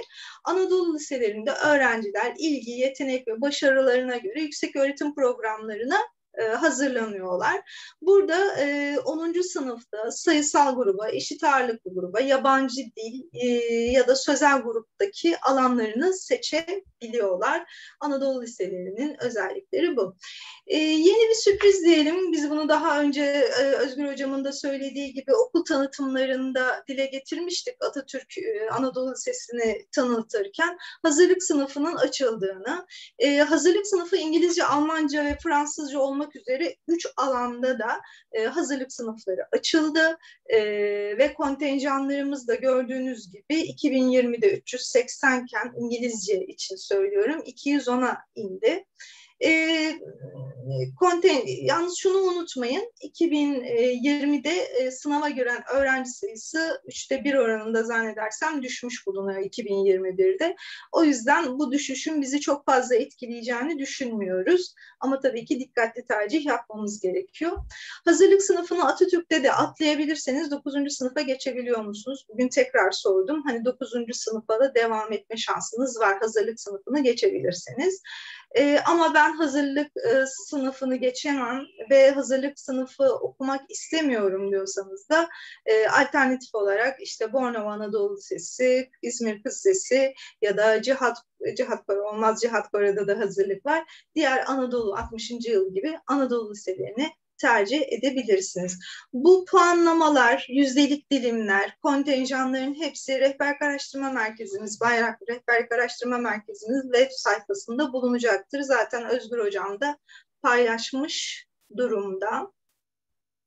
Ee, aynı şekilde Cihat Kora'da da hazırlık var. Cihat Kora'da e, Fransızca yok, sadece İngilizce ve Almanca var. Genelde şu soru soruluyor, hani Cihat Kora yazacağım ya da Atatürk Lisesi yazacağız. Hepsi için, İngilizce için ayrı bir kodla, Almanca için ayrı bir kod, e, Fransızca için ayrı bir kod. Yani siz üçünü de yazacaksanız üç tercihinizi kullanacaksınızdır ve bunlar birbirine çok yakındır. E, puanınız, yüzdelik diliminiz bu açıdan çok çok önemlidir sayın veliler ve öğrenciler. Hani 10 tane tercih hakkınızı nasıl kullanacağınızı açıkçası bu konuda e, rehber öğretmen arkadaşlarımızdan kesinlikle ve kesinlikle destek almanız gerekiyor. E, size bu konuda bilgiyi daha rahat bir şekilde vereceklerdir. Mesleki ve Teknik Anadolu Liseleri e, bildiğiniz gibi birçok e, Mesleki ve Teknik Anadolu Lisesi var. E, bazılarının e, yeni teknoloji sistemi, sistematiğine ait çok yeni bölümleri var ve çok ihtiyaç duyulan alanlarda açılmış durumdalar. E, büyük bir alternatif olarak göz önünde bulundurulması gerektiğine inanıyoruz. Zaten yatırımların çok büyük bir kısmı da mesleki ve teknik Anadolu liselerine yönelik yapılıyor. E, mesleki ve teknik Anadolu liselerinin temel amacı girişimci, yenilikçi, üretken, yeni genç neslin e, iş gücüne katılmasını sağlamak. Bu yüzden de mesleki teknik Anadolu liseleri daha donanımlı hale getirilerek sistemin içinde daha güçlü bir halde olması isteniyor. E, mesleki ve teknik Anadolu liselerinin açıkçası e, şahsi olarak da söyleyebilirim ki tercih listesi içinde e, bulundurulması avantajlı olabilecektir. E, şimdi geçen sene yapılan bir farklılık var, e, yenilik var. Onu sizlere iletmek istiyorum. Mesleki Teknik Anadolu listeleri teknik program ve Anadolu Meslek Programı e, olarak iki bölümden oluşuyor. Teknik program sınavla öğrenci alıyor. Anadolu Meslek Programı'nın da sınavla aldığı öğrenciler e, programlar var. Sınavlı ve sınavsız olarak nitelendirebiliriz. E, teknik Anadolu Teknik kısmında LGS tercihi sırasında alanı seçiyorsunuz e, Anadolu meslek kısmının sınavsız olan yerel yerleştirmeyle yapılan e, tercihlerinde ise 9. sınıfın ilk iki haftasında e, rehber öğretmenler, alan şefleri e, okul idaresi tarafından iki haftalık bir tanıtım programı hazırlanıyor ve bu program çerçevesinde sizden bir tercih listesi tekrar oluşturmanızı istiyorlar ve bu arada da tabii ki veli çalışmaları da yapıyor tanıtım çalışmaları kapsamında ve sizler e, e, tekrar bir e, o okulun içinde ya da daha farklı okullardan tercihlerde bulunuyorsunuz. Örnek veriyorum elektrik, elektronik, otomasyon, e, makina, e, bilgisayar gibi gibi tercihlerde bulunabiliyorsunuz. Dal seçimi tabii ki çok önemli. Bunu 9. sınıfın sonunda yapıyorsunuz her iki alanda da. Şunu unutmamak gerekiyor. 9, 10 ve 11. sınıflarda Anadolu Teknik kısmı ve Anadolu Meslek kısmının programı aynı yeni düzenlemeye göre. 12. sınıfta ise ATP dediğimiz programda, teknik programda e, yaklaşık 33 saat kadar akademik destek programı var. Üniversiteye hazırlık programı için. Üniversiteye geçişi kolaylaştırmak, sınavda daha başarılı olmalarını sağlamak açısından. Ama Anadolu Meslek'te ise beceri eğitimi söz konusu oluyor. O yüzden ikisinin farklılığı burada. Ama öğrenci diyelim ki Anadolu Teknik Programı'na geldi. 11. sınıfın sonunda dedi ki ben üniversite hazırlık sürecine geçmek istiyorum istemiyorum. Ben Anadolu Meslek Programı'na devam etmek istiyorum. Geçiş yapabilir. Burada hiçbir sıkıntı yok. Okul idaresine bir dilekçe veriyor. Aynı şekilde Anadolu Meslek Programı'nda ise çocuğumuzun, e, öğrencimizin not ortalaması 9, 10 ve 11. sınıfta 70 ve üzeri ise e, tekrar bir okul idaresine dilekçe verip e, Anadolu Teknik Program'a geçerek akademik desteği de alabiliyor. Bu büyük bir avantaj. Çünkü öğrencilerin ilgileri değişebiliyor, motivasyonları değişebiliyor. E, geçiş hakkının verilmesi açıkçası çok büyük bir avantajdır. Bunun da değerlendirilmesi gerektiğini düşünüyorum. E, İzmir'de, İzmir ili çerçevesinde ve ilçelerinde birçok e, meslek lisesi ve kontenjanları var. Genelde geçen sene hep 34'tü, biraz daha farklıydı ya da iki katıydı ama bu sene genelde 30'la kontenjanlarını kapatmış durumdalar. E, sağlık meslek liselerimiz de var tabii ki unutmadan söyleyeyim. E, ve siz burada tercih yaparken örnek veriyorum Göztepe Bilişim Teknolojisi alanını tercih ediyorsunuz. Onun kod numarasını yazıyorsunuz ya da gazeteci Çetin Altan elektrik elektronik bölümünü tercih ediyorsunuz. Onun kod numaralarını yazıyorsunuz. E, şunu da açıklamak gerekiyor. Genelde hep Anadolu liseleri, sosyal bilimler ya da fen lisesi tercih yapıyoruz ama puanı biraz daha ım, düşük olan öğrenci hiç e, ATP programlarına bakmadan yerel yerleştirme tercih yapıyor. E, açıkçası Türkiye'nin geleceğimiz için özellikle e, teknik e, anlamda iyi yetişmiş hem mühendislere hem de teknik e, elemanlara ihtiyacı olduğu için bu alanların özellikle gelecek vaat eden alanların gündeme alınması gerekliliğini her zaman her şekilde söylüyoruz ve söylemeye de devam edeceğiz bir rehber öğretmen olarak. Bu konuda sorularınızı daha sonra sizden e, alacağız. E, mesleki kariyer planlama ve meslek alanları hakkında bilgiyi özellikle mesleğim ve hayatım, alan tercihleri e, ve mesleki tanıtım web adreslerinde bulabilirsiniz. E, e, bakanlığımızın sayfasından bulabilirsiniz. Burada tek tek bütün alanları e, rehber öğretmenler, alan şefleri ve öğrenciler tarafından anlatılıyor ve bütün ayrıntılar oralarda var. Bunları lütfen dinlemenizi rica ediyorum. E, bunlar sizin için bir ön bilgi olacaktır ve değerlendirmeye almanızda büyük bir avantaj sağlayacaktır sizler adına. Ee, Anadolu İmam Hatip Liseleri, e, bu da tercihlerimizden bir tanesi. Anadolu İmam Hatip Liseleri hem sınavlı ve hem sınavsız olmak üzere tabii ki e, iki kategoride yer alıyor. Ama biz genelde hep Anadolu İmam Hatip Lisesi deyince sanki tek bir okulmuş gibi düşünüyoruz ama kendi içinde birçok çeşitliliği var. Hatırladığım kadarıyla 7 ya da 8 tane programı var. Bunlar neler? Fen e, programı e, Anadolu İmam Hatip, İmam Hatip Liseleri, sosyal bilimleri ağırlıklı programı olan Anadolu İmam Hatip Liseleri, işte hafız öğrencilerin eğitim gördüğü Anadolu İmam Hatip Lisesi, Uluslararası Anadolu İmam Hatip Liseleri bunların hepsi ayrı ayrı ayrı programları oluşturuyor. Ve siz tercihlerinizi yaparken bunları araştırarak o okulları tercih etmeniz gerekiyor. Yani bir İmam Hatip Lisesi dediğiniz zaman tek bir program yok. Farklı programlar var. Yani Fen Lisesi gibi, Sosyal Bilimler Lisesi gibi. Hatta e, Anadolu İmam, İmam Hatip Liselerinin e, Güzel Sanatlar bölümü var, spor bölümü var.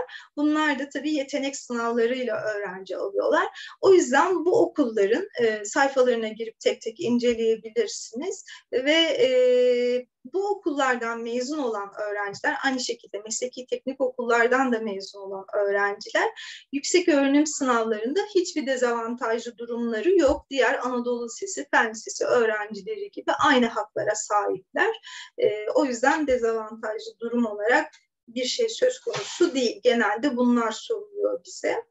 E, gördüğünüz gibi e, bayağı bir imam hatip liselerimiz var. Kontenjanları da belli oranlarda. Ee, bunların e, hazırlık sınıfı olanlar var. Biraz önce söylediğim gibi programları farklı farklı çeşitli olanlar var. Bunları en iyi nerede görebilirsiniz? Çok iyi bir tanıtım ve rehberlik çalışmaları var. Ee, bakanlığımızın e, din öğretimi okulları MEP.gov.tr'de özellikle çok açık ve net ve diğer MEP sayfalarında da ya da EBA sayfalarında da bunları tek tek görebilirsiniz.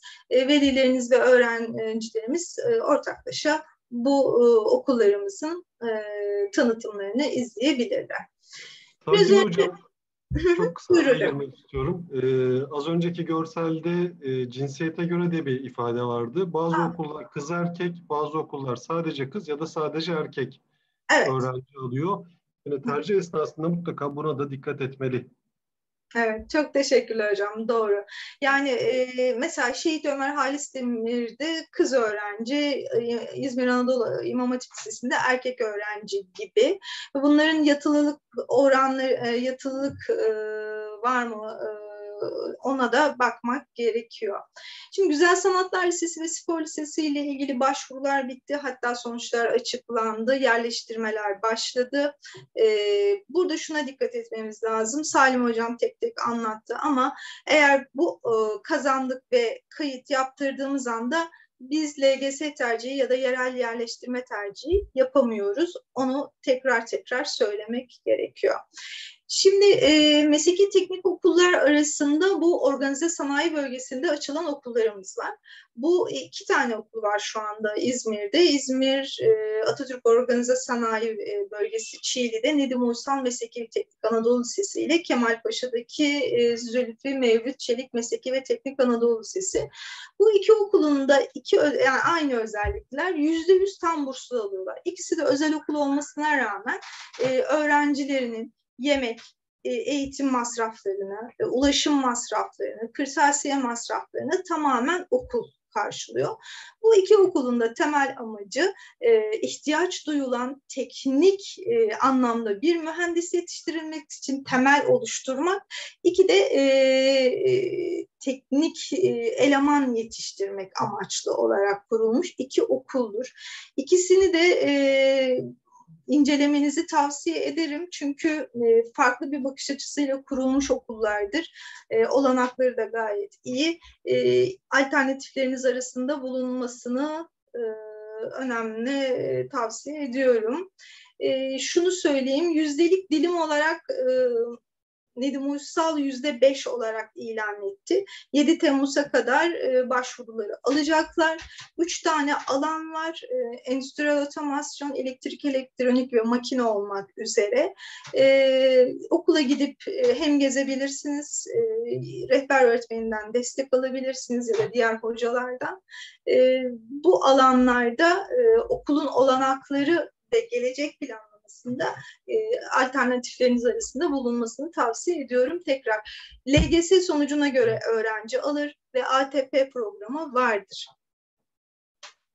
Kemalpaşa'daki okulumuz Zülfü Mevlüt Çelik Mesleki Teknik Okul iki tane programı e, içinde alıyor. Birisi Anadolu Teknik Programı ve Anadolu Meslek Programı. Puan olarak hesaplamış arkadaşlar. Anadolu Teknik Programı 340 puanlı ve üzerinde olan öğrencileri başvurularına alacak. Anadolu Meslek Programı ise 300 ve üzerinde olan öğrencilerin başvurularını alacak. Ee, bu okullarında rehber öğretmeni arkadaşlar özellikle tanıtım üzerinde size destek olacaklardır. Mesleki eğitim merkezleri. Mesleki eğitim merkezlerini biz e, eskiden çıraklık eğitim merkezi olarak tanımlıyorduk. Şimdi mesleki eğitim merkezi olarak yerel yerleştirme ile tercihte bulunacağınız bir alan hem çalışıp hem okumak amacıyla kurulmuş. Yani örgün eğitimden çıkmak istiyor ama okul sistematiğinden de uzaklaşmalarını biz çocuklarımızın istemiyoruz. O yüzden mesleki eğitim merkezi öğrencinin en az ortaokul mezunu olan, e, sağlık durumu çalışacağı işle ilgili olarak problemi olmayan öğrencilerin başvurabileceği bir e, alan. Mesleki eğitim merkezinde şöyle düşünün, diploma alabiliyorsunuz. E, ders takviyesini yaparak, dersleri tamamlayarak öğrencinin sahip olduğu tüm haklara sahip olabiliyorsunuz. Öğrenci kartınız, belgeniz olabiliyor. Ve bunun yanında 11. sınıf sınıfta kalfalık sınavına giriyorsunuz. 12. sınıfta da ustalık sınavına giriyorsunuz ve bunları başarırsanız da bu belgelerinizi almış oluyorsunuz. Hem e, para kazanmış hem eğitiminize devam etmiş oluyorsunuz. Bu da bir alternatifler arasında. Yani örgün eğitimdeki sistematikte kendini iyi hissetmeyen, farklı bir şekilde çalışmak zorunda kalan e, öğrencilerimiz için öğrencilikten kopmamaları için güzel bir alternatif de olabilir e, lise eğer devam etmeyi düşünmüyorlarsa. E, İzmir'de neredeyse her ilçede bir tane mesleki eğitim merkezi var. Buraya paylaştık. E, isteyenler buradan e, alabilirler.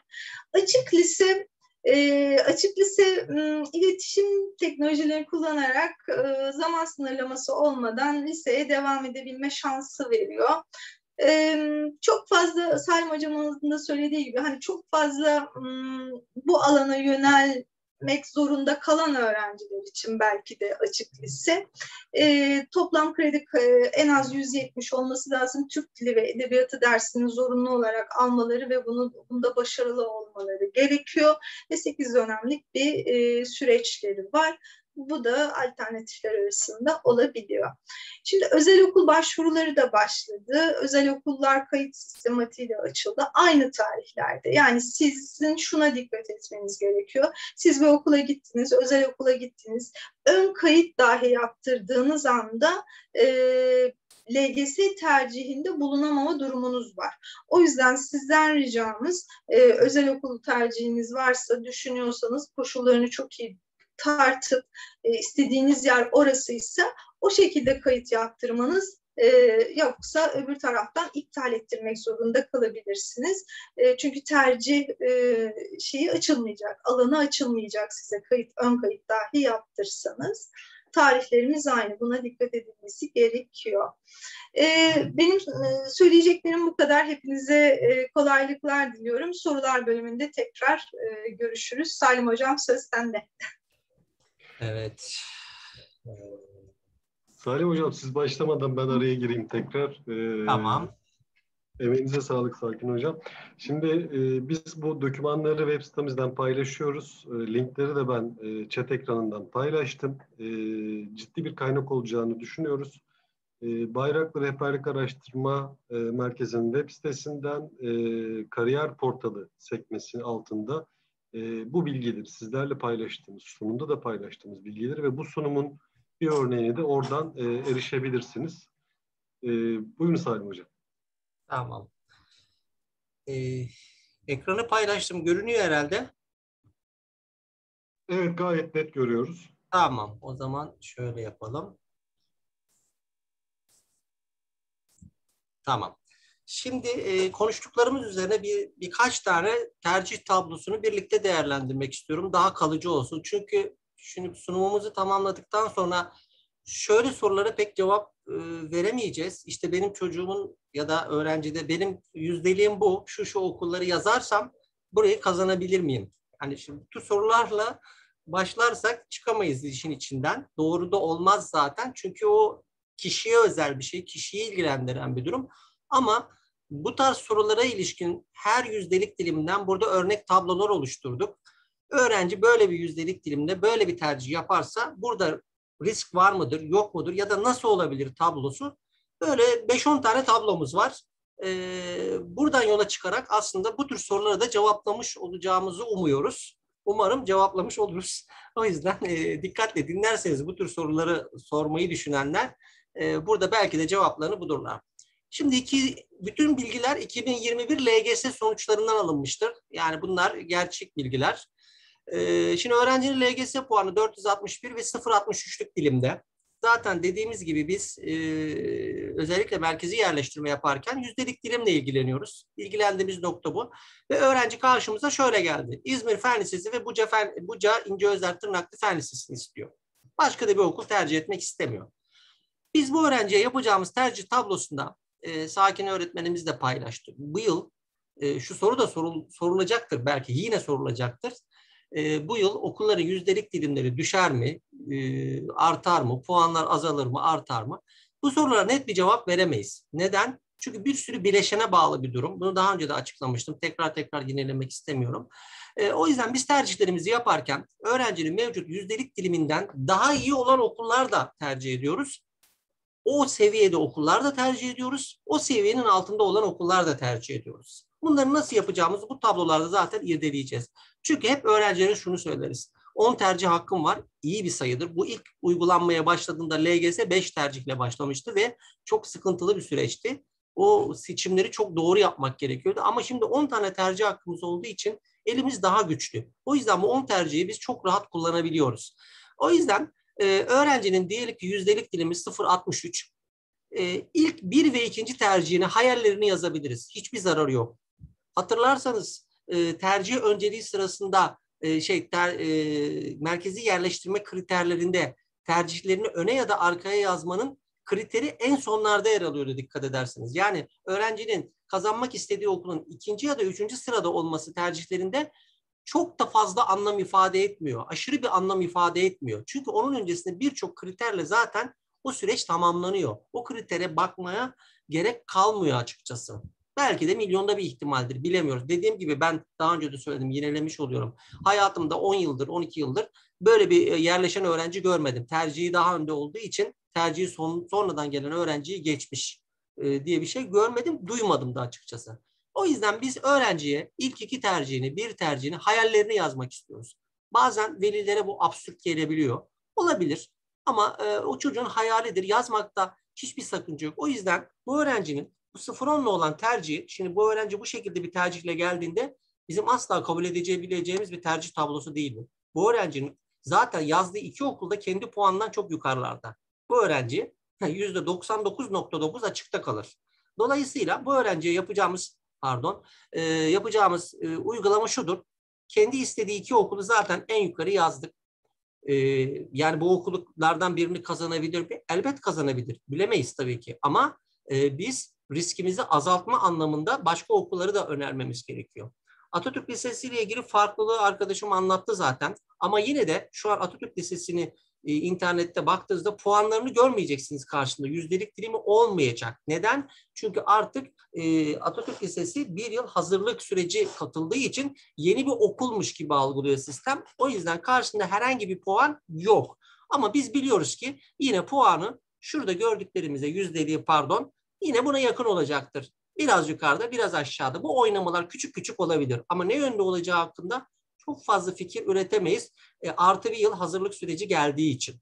Dolayısıyla öğrenci eğer Anadolu Lisesi ile ilgili bu okulla ilgili kafasındaki soru işaretlerini gidermişse bunları yazmakta yarar var. İngilizce, Almanca, Fransızca farkı sadece e, gördükleri e, ana ders farkı öğrencilerden şurada geliyor. Almanca ile İngilizce arasında ne gibi bir fark var? Aslında çok büyük bir fark var. Aldıkları eğitim aynı. Biliyorsunuz lisede e, 4 ya da 5 saat e, yabancı dil, ana yabancı dil uygulaması vardır. Artı seçmeli olarak ikinci yabancı dil vardır 2 saat. Dolayısıyla eğer İngilizceyi kazanmışsa öğrenci 4 saat İngilizce görüp 2 saat Almanca zaten görecek. Eğer Almancayı kazanmışsa öğrenci 4 saat Almanca görüp 2 saat İngilizce görecek. Fark bu. Bir farkı yok. Yani e, giren öğretmenler bile çoğunlukla aynı öğretmenler derslere girenler diğer branşlarda. Dolayısıyla hani e, şunu düşünüyor öğrenciler ya ben ortaokulda İngilizce okudum. Oraya gidip Almancayı nasıl yapacağım? Buraya gelen öğrencilerin yüzde 99.9'u o ortaokullarda Almanca veren, eğitim veren devlet okullarında yok zaten. Hepsi İngilizce görüyorlar. Sıfırdan Almancayı, Fransızcayı öğreniyorlar. Ha istisnai olarak bazı özel okullardan belki gelmiştir bu okula. Orada Almanca görmüştür. Belki orada bir fark olur ama burada verilen eğitim öğrenci bu dersi hiç öğrenmemiş üzerine kuruluyor. Dolayısıyla böyle bir kaygı çok da yaşamamak gerekiyor. Dolayısıyla hani İngilizce, Almanca, Fransızca diye tercih ederken hani bu bilgileri de bilgilerin ışığında tercih yapmakta yarar var diye düşünüyorum. Böyle bir tercih tablosu yapıp şu şekilde bir liste yaptığımızda bizim bu öğrenciyle ilgili tercih listesi çok gönlümüz daha rahat olabilir. Şu çok sıkıntılı. Bu şu demek değil. Yani Buca Fen Lisesi'ni İzmir işte özel tırnaklı fen lisesini kazanamaz diye bir ibare kullanmayız. Ama e, risk barındırdığı için, kendi puanından yukarıda bir okul olduğu için, düşüp düşmeyeceğini o puanın bilemediğimiz için e, mutlaka altına. Bu arada okul pek İzmir'de merkezi yerleştirmeli okul bulabilirsek yazılabilir ama hani biz burada tercih ederken metropol ilçe olarak düşünmüştük öğrencinin seçimlerini. O yüzden bunları yazmışık. Ve altında en son tercih olarak da bunu mutlaka koyma gereği duymuşuk. Çünkü bu okullar şu üç şu ne olacağı hakkında bilgi sahibi değiliz. Çünkü dediğim gibi artı bir yıl hazırlık geldiği için.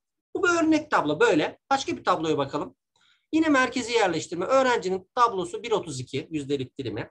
Öğrenci bu okulları tercih etmiş.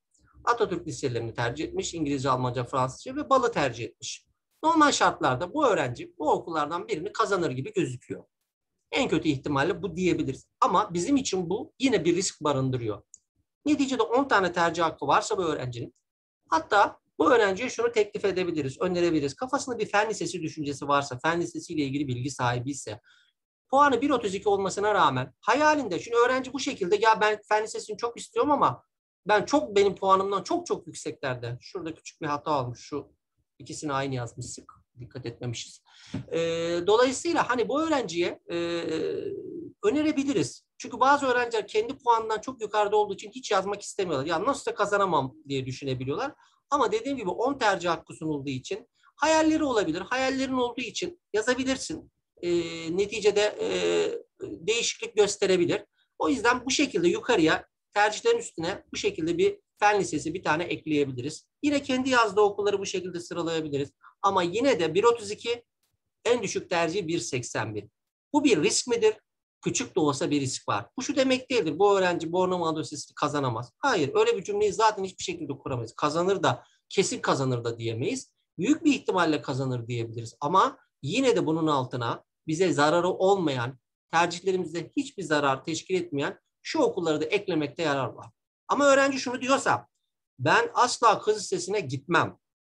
O zaman buraya bunu yazmanın bir anlamı yok. Çünkü e, daha önce de söyledim. Öğrenci sonuncu tercihini de kazansa, ilk tercihini de kazansa gidebileceği okulları listesine almalı. Ya ben onu öylesine yazdım. Ama kazanırsam gitmem. Bu cümleler doğru cümleler değil. Yani kazanam gitmeyeceğiniz okulu lütfen tercih listenize yazmayın. E başka yazacak okul yoktu. O zaman o en başta anlattığım işte tercih yapmadan önce yapmanız gerekenler bir liste paylaşmıştım. O listeyi iyi irdelemek gerekiyor. Çünkü bazen zorunluluktan seçeceğimiz okullar da olacak puanımız itibariyle. O yüzden bu öğrenciyle ilgili 1.32'lik tablo ile ilgili şu tercih tablosu çok daha sağlıklı. Bunda da çok problem yok. Ama bu çok daha sağlam, çok daha bu işi bitirdikten sonra arkamıza bakmadan tatile çıkacağımız bir tablo olabilir. Başka bir taneye bakalım yine. Bu sefer 2.57 yüzdelik dilime sahip öğrenci. Öğrencinin kendi tercihleri bu şekilde olmuş. Gayet güzel bir tablo. Gayet güzel. Ee, Atatürk'ü düşünmemiş. Çünkü arada çok büyük bir makas var. 1.20'ler falan. Baldan başlamış. Gayet de güzel başlamış. Altına kız hisseden ekleyip bitirmiş. Ben direkt en son tercihteki yüzdelikle öğrencinin yüzdeliğine bakarım. Aradaki makasa. Ne kadar? Yaklaşık yüzde 0.30'luk bir fark var. Bu oynayabilir mi? Bilemem.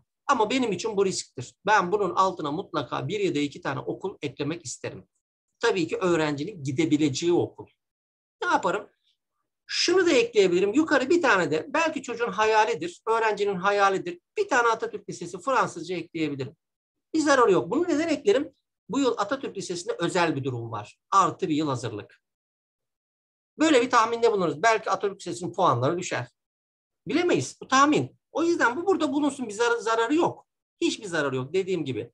Dolayısıyla böyle bir tercih e, listesine tabii ki istiyorsa, tabii ki gönlünde varsa yazılabilir. Burada öğrencinin ve velinin takdirine kalmış bir durum. Tabii ki biz öneriyoruz. Son karar yine velim, velinin. Yukarılardan çok bizim için şu alt tablo çok önemli. Alt tabloda öğrenciyi riske sokacak durumları minimize etmek. Yani şurada mesela ne yapmışık? 2.85'in altına Fatma Saygın'ı eklemişik. 60. yılı eklemişik. Cihat Kore'yi eklemişik. Bakın ta buralara kadar inmişiz. Risk. Çünkü şu okullarda da kontenjan azlığı var.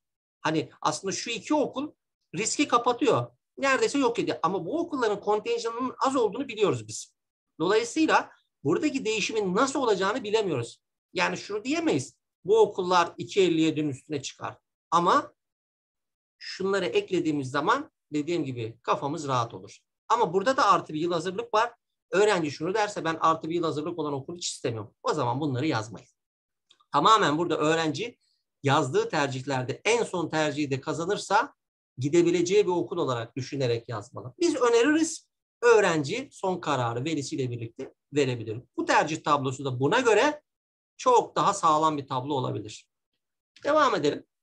Yine bir tablo. 5.21 öğrencinin yüzdelik dilimi. Öğrenci böyle bir tablo yapmış. Ölü tercih kavramını kullanmıştı. Öğrenci daha çok istediklerini yukarı yazmış. Kızı sesi demiş, Yunus Emre demiş. Altına da bunlar olmazsa şunları yazmış. Evine uzak muhtemelen. Bornova'da oturduğunu düşünelim. E, dolayısıyla şu an sistem neye bakıyor? Öğrencinin puanı 5.21. Şu okul 5.30'la aldığında diyelim ki buraya yerleşti zaten. Şu tercihleri hiç görmeyecek. Yani bu tercihler şu puanın alt, daha yukarısında olduğu için normal tercih sıralamasında Yunus Emre'nin üstünde olması gerekiyor. Ama öğrenci şunu diyor. Ben Yunus Emre'yi Cihat Kora'dan daha çok istiyorum. O zaman şunu yapacak öğrenci. Aslında e, merkezi yerleştirme sistemi, o bilgisayar sistemi şu tercihleri hiçbir zaman görmeyecek. Yani fiziki olarak belki var kağıt üstünde ama e, uygulamada bu tercihler hiçbir zaman yok. Zaten 5.90'lı bir yeri kazanamayan bir öğrenci 3.90'lı bir yeri zaten kazanamaz. Dolayısıyla öğrenci bu okulları şu iki okuldan daha çok istemiyorsa ya hiç yazmayacak ya da yukarı alacak. Yukarı almak istemiyorsa bunları yazmasının bir anlamı yok. Bazen veliler diretiyor. Dursun ne olur ne olmaz diyor. Biz de çok veliyle orada öğrenciyle inatlaşmaya girmiyoruz ama e, prensip olarak buradaki şu tercihlerin hiçbir hükmü yok.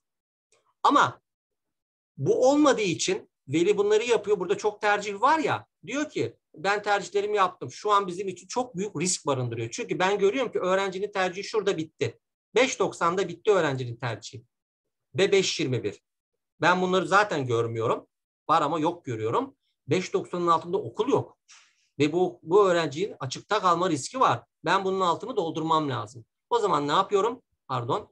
Ee, bunları istiyorsa, kabul ediyorsa sonradan yukarı alıyorum. Şu iki okulu. Kabul etmiyorsa e, bunları çıkarırım listeden ama 5.90'ın altına bir okul buldum bakın. Ne yaptım? Konak Anadolu Lisesi. Neden? Kendi puanının altında daha kazanma olasılığı çok daha fazla yüksek bir okul. Ama tabii ki bu okul nerede? İşte Buca, e, Şirin yere giderken biliyorsunuz yerini bilen öğrencilerimiz çoktur. E, o tarafta ve e, eğer bu okula ben ulaşım imkanım yok, gidemem oraya uzak diyorsa o zaman bu riski göze alarak tercihleri şu şekilde kalacak. Çünkü gitmeyeceği okulu yazmasının da bir anlamı yok. Dolayısıyla böyle bir tercih çok daha sağlıklı bir tercih. Devam edelim başka bir tercih. Evet yani merkezi yerleştirme ile ilgili dört tane tablo gösterdim. Her yüzdelik dilimden göstermeye çalıştım. Ee, İzmir'de zaten yüzde yedi, yüzde sekizlik dilime kadar okullar tercih ediliyor. Bunlar tabii ki Merkezi Anadolu Lisesi. Az önce arkadaşım anlattı. Ee, yüzdelik dilimi 15, 20, 25 olan öğrencilerin gidebileceği mesleki teknik okullar da var sınavlı alan. Onlar farklı bir kategori. Yani o, o yüzdeliklerle de e, eğer o bölümler o öğrencinin e, hedefine, amacına, e, lise hayatına uygunsa gerçekten tercih edilmesinde yarar olan okullardır. Biz daha çok daha çok buralardan talep görüldüğü için buralardan örnek vermeye çalıştık. Merkezi yerleştirmede dikkat edeceğimiz şeyler bunlar. Bunlara dikkat edersek e, o zaman tercihlerimizde bir sıkıntı zaten olmayacaktır diye düşünüyorum. Şimdi gelelim yerel yerleştirmeye. En çok hata yapılan, en çok açıkta kalan öğrencilerimizin olduğu bölüme. Çünkü merkezi yerleştirmeyle e, doğru tercih yapamasa bile yerel yerleştirmeyi doğru yaptığı zaman öğrenci açıkta kalma gibi bir durumu olmuyor. Ama yerel yerleştirmede de direnç çok fazla oluyor ve yığılmalar fazla oluyor öğrenci ve veliler tarafından. Dolayısıyla orada işler karışabiliyor. Bu ilçelere göre de değişen bir durum. İlçelerin e, potansiyeline, ilçelerdeki öğrenci e, profiline, o okullardaki adrese dayalı lise sayısına göre de değişen bir durum. Bakalım şimdi bununla ilgili bir örneğe. Öğrencinin ortalaması 95,5 hatta bu dört basamak yürütülüyor demiştim mesela 95,5240 da olabilir. Öyledir zaten yerleştirme yaparken sistem öyle bakacak. Öğrenci Bornova adresinde. Burada ilk dikkat etmemiz gereken adresimiz nerede? Bornova adresinden ilk üç tercihi kendi kayıt bölgesinden olması gerekiyor. Şimdi öğrenci şöyle yapmış. Supi Koyuncuoğlu'nu yazmış. Puanı bu. Cem Bakioğlu puanı bu. Puanlar günceldir arkadaşlar. Altına da Mustafa Kemal yazmış. Böyle bir tercihi onaylamaya çalışsın ve o sistem uyarı verecektir. Üçüncü tercihiniz kendi kayıt bölgenizden değildir diyecektir size. Değiştirin diyecek. Çünkü ne dedik? İlk üç tercihiniz kendi kayıt bölgenizden olmak zorunda. Bu tercihi onaylamayacaktır sistem. Öğrenci sonra bunu madem onaylamıyor diyecek. Ben sadece iki tercih yapıyorum. Başka okul istemiyorum. Böyle bir tercih yapacak. Şimdi bu tercihle karşımıza geldiğinde öğrencinin puanı 95,5. Bu iki okulun birisi kendi puanından yüksek, birisi kendi puanının altında. Kazanabilir mi? Kazanabilir. Ama risk var mı? Elbet var. Çünkü geçen yıl bazı okulların puanları 2-3 puan oynadı. Bazı okulların puanları 7-8 puan oynadı. Düşen de olmuştur mutlaka ama e, bu oynamalar çok daha fazla oluyor bu okullarda. Çünkü kontenjan değişimleri çok fazla oluyor. Mezun olan öğrenci sayıları çok fazla oluyor. E, bu yıl kontenjanları düştü. Mezun olan öğrenci sayısı da düştü ama birbirini dengeleyen şeyler büyük bir olasılıkla ama çok öngöremiyoruz yani düşer mi yükselir mi diye. O yüzden biz riskimizi yok etmeye çalışmamız gerekiyor. Şimdi bu öğrenciye birinci önerimiz şu. Şöyle bir tablo. Ne yapabiliriz? Supi Koyuncuoğlu, Cem Bakioğlu altına çimenteşi ekleyebiliriz. Bu da Bornova'da bir okul. Bakın ne yaptık? Kendi puanının altında bir okul varken ikiye çıkardık. Risk var mı? Şuna göre çok daha azaldı. Burada var, burada da gene de var risk. Başka bir örnek çıkaralım karşımıza. Devam edelim. Üçüncü, böyle bir tablo yapabiliriz öğrenciye. Supi'yi koyduk yine. Cembaki vazgeçilmezleri belki de bunlar. Altına e, çimenteşi çıkarıp Gülsefa Kapancıoğlu diye bir lise var. Onu ekledik Bornova'da. Bu birazcık daha düşük. Buradaki riski daha da azaldı. Çünkü kendi puanından daha da fazla düşük bir puan. Bu yapılabilir. Yine yetinmedik. Yine riskimiz var deriz. içimiz rahat değil. Velilerin içi rahat değil. Bu sefer şunu yaptık. Supi'yi çıkardık. Kendi puanın üstünde ya. Veli ikna oldu. Ya dedi bizim Supi'yi kazanma şansımız çok düşük. Biz riskimizi iyice yok edelim. Böyle bir öngörüsü oldu. Ya da öğretmen önerdi. Cem Baki'yi yazdık. En yukarıya birinci sıraya. Çimenteş'i yazdık. Gülsefa'yı yazdık. Buradaki risk buraya göre daha da azaldı. Yine yetinmedik. Bu sefer Cem Baki'yi yazdık. Gülsefa'yı yazdık. Velimiz çok mesela şeydi, pimpirikliydi, çok endişeli, kaygılıydı ya da öğrenci. Altına 83'lü ekledik. Artık burada risk hani yok diyebiliriz neredeyse. Burada tamamen bunları sunmak öğrenciye ve veliye, anlatabilmek. Çünkü bu okulların puanlarının ne yönde değişeceğini öngörmek çok mümkün değil. Size bir örnek vereyim. Ee, Bornova bölgesinden Çimentaş Anadolu Lisesi 92-33 geçen yıl yani 2019'da 83 ile aldı. 10 puan birden arttı okul. 10 puan ve bundan dolayı bizlere danışmadan tercih yapan benim kendi okulumda öğrencilerim 91 okul puanıyla açıkta kaldı ve o 91 puanla meslek listesine gitti. Eğer bana sormuş olsaydı ya da bizlere sormuş olsaydı arada 10 puan olmasına rağmen ben böyle bir okul altına ekletirdim. Çünkü bilemiyoruz. Çünkü o okulun kontenjan değişimini biz biliyorduk. Ama o öğrenci ve velisi bilmiyordu. Bu da işte uzaktan tercih danışmanlığında yaşanan daha çok sıkıntılar yaşandı geçen yıl. Çünkü bu yıl daha rahat EBA'dan erişim ya da farklı yollardan daha çok zorlanmıştık. Öğrenci bize bir şekilde belki erişemedi, belki istemedi ve öğrenci e, açıkta kalabildi. Çok çarpıcı bir örnek. Dolayısıyla benzer farklı ilçelerde de böyle, böyle örnekler yaşamış olabiliriz. Yaşamış olabilenler vardır mutlaka. Dolayısıyla bu tercihleri yaparken okulların kontenjan değişimlerinde görmek gerekiyor, bilmek gerekiyor, öğrenmek gerekiyor açıkçası. Zaten rehber öğretmenlerimiz biliyorsa bunu size mutlaka hatırlatır. Bu böyle bir tabloydu. Başka bir örneğe geçelim yine. Bir tane daha var örneğimiz. Bu sefer öğrenci Bayraklı adresine kayıtlı ve puanı 87, işte 3451 başarı puanı. E, Bayraklı'da Mustafa Kemal Anadolu Lisesi var. Onu yazdı. En yüksek puanlı okullardan biri. Sonra da Mehmet Akif'i yazdı. Şimdi burada bir Başka okul yazmak istemiyorum dedi. Ben bu ikisinden birine giderim dedi. Gitmek istiyorum dedi. Ve başka tercih yapmadı. Bu öğrenciye öneri olarak şunu sunabiliriz. Altına Halide Edip adı var Anadolu Lisesi. Geçen yıl açıldı ve 70,17 ile aldı. Bu okul. Bunu yazdığımızda normal şeklen baktığımızda şunu deriz değil mi? Yani bu öğrenci asla açıkta kalmaz.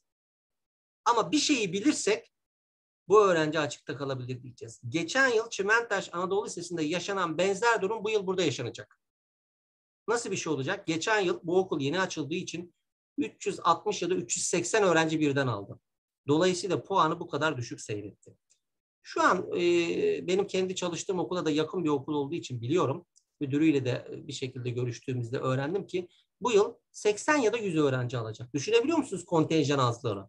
Dolayısıyla bu okulun puanı şuna çok yakın olacak muhtemelen. Şimdi öğrenci buna bakarak benim notum 80 85 ben burayı kazanırım derse bunu bilemeyebilir velimiz. Çok doğaldır. Hiçbir zaman velimizi ve öğrencimizi suçlayamayız. Ama velimizi ve öğrencimizi şurada suçlarız. Sen bir rehber öğretmene danıştın mı? Danışmışsa zaten rehber öğretmenin gözünden kaçmaz bu. Bilir ve ona göre hareket ettirir.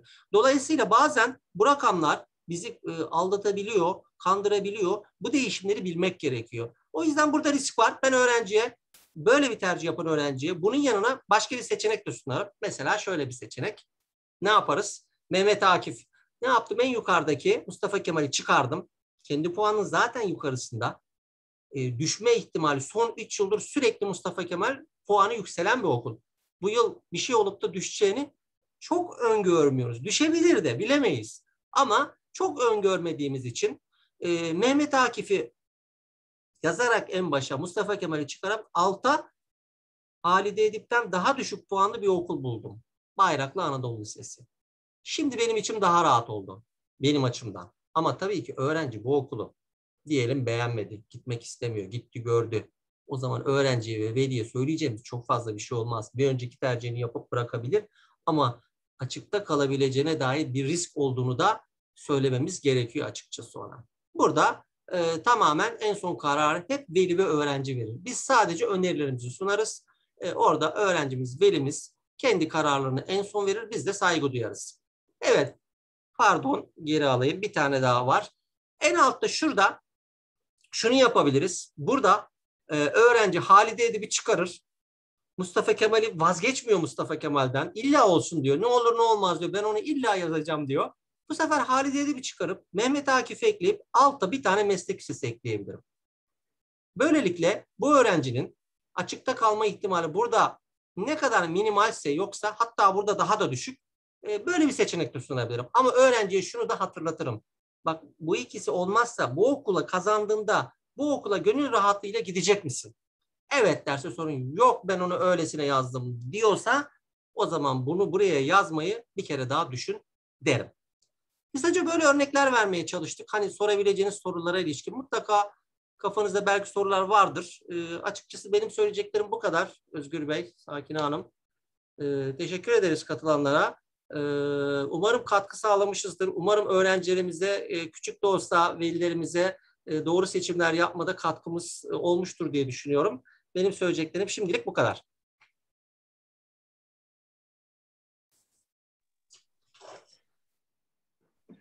E, emeğinize sağlık. Salim Bey, Teşekkür ederiz. e, kameranız açık mı hala? Şimdi hesap açık. bize ait olmadığı için bazı teknik sıkıntılar yaşıyoruz. E, şöyle yapalım e, soru cevap kısmında. Soru sormak isteyenler Raise Hand butonuna basacak. E, bir de kameralarını açacak. Kamerasını açanlara öncelik tanıyacağız. Evet, e, hanımefendi ekranda Oğuz yazıyor kusura bakmayın. Sakin Hanım, e, mikrofonunu açması için şey yapabilir miyiz? Ben, evet. Evet. İyi akşamlar herkese. Ee, ben oğlum için e, tercih yapacağım. Ee, şunu sormak istiyorum. Aslında e, Buca'da ikamet ediyoruz ve çok sınırda e, bir şey aldı. Yani genel kişiye girmeyeyim, genel sorayım. Sosyal bilimleri seçersek, e, Buca'daki sosyal bilimlerin eşit ağırlık olduğunu gör, e, öğrendim. Yani eşit ağırlıklı sınıflarıyım. Hepsi öyleymiş. Sözel ve sayısal zaten hani e, sözel tercih edilmiyormuş. Sayısal yönetmelik gereği açılmıyormuş. Ee, 11-12'de sayısal okumaya karar verirse bu çocuğum ee, başka bir hani sayısal e, tercih edebileceği özel okul olabilir veya e, özel okul olabilir, devlet okuluna gidebiliriz. Ee, içerik anlamında e, sözel ağırlıklı olmadığını öğrendim. Ee, siz bundan hakkında bilginiz var mı? Yani fizik, kimya, biyoloji 9-10'da normal bir Anadolu Lisesi'nde alacağı gibi mi alıyor sosyal bilimler liseleri? E, 9 ve 10. sınıfların programı ortak. Dediğiniz gibi e, tüm ana dersleri, sayısal dersleri görüyorlar. E, 11 ve 12. sınıf, 11'e geçerken alan seçimi söz konusu tabii ki. 11 ve 12'de de alana kaynaklık eden dersleri daha yoğun görüyorlar. TM öğrencileriyle sayısal öğrencileri matematik dersini birebir aynı şekilde görür. Hı hı. Sadece 11-12. sınıflara ait fizik, kimya, biyoloji derslerini e, sizin çocuğunuz eğer sosyal bilimler lisesine giderse alamayacak. E, bunu belki dışarıdan takviye etme yoluna gidebilirsiniz ama bu da başka sakın sıkıntılar doğurabilir. E, okul değişimi noktasında e, eğer özel okula geçmek istiyorsanız 11. sınıftan itibaren e, bir özel okulun sayısal bölümüne geçmenize sıkıntı olacağını düşünmüyorum. Ama e, diğer okullar için, devlet okulları için kontenjan olması gerekiyor. Türler arasında geçişte de farklı kriterler var tabii ki. Bu biraz Hı hı. daha işi çetrefilli hale getiriyor. Bir şey daha sorabilir miyim? Lütfen, Ee, lütfen. mesela e, yakındaki e, sınavsız alan okulum tercih etmek ile uzak il mesela Muca'dan Menderes gibi e, nitelikli okul tercihinde e, illaki sınavlıyı mı e, öncelikli tutmalıyız? Yani bu kadar farklı mı diye düşünülüyor genel olarak. Hani bakıyorum Buca Anadolu var. Menderes'te Fatma Büküşü var. Yani yerleri çok uzak mesela. Yakın uzaklığı ne derece düşünmeliyiz? Ee, geçmişte Buca'da çalışma şansım olduğu için okulları çok iyi biliyorum. Buca Anadolu Lisesi gerçekten çok iyi bir lise, çok e, iyi bir kadrosu vardı geçmişte de. Ee, sınavlı okul yani merkezi yerleştirme ile yerel yerleştirme arasındaki belki en büyük fark e, sınıftaki öğrenci mevcutu. Şimdi, e, sınavlı öğrenci olan okulların öğrenci sayısı biraz daha az oluyor. Sınıfta 30 kişilik e, olacaktır. Ama yerel yerleştirmede nüfus yoğunluğunu da dikkate aldığınızda sayı biraz daha artabiliyor.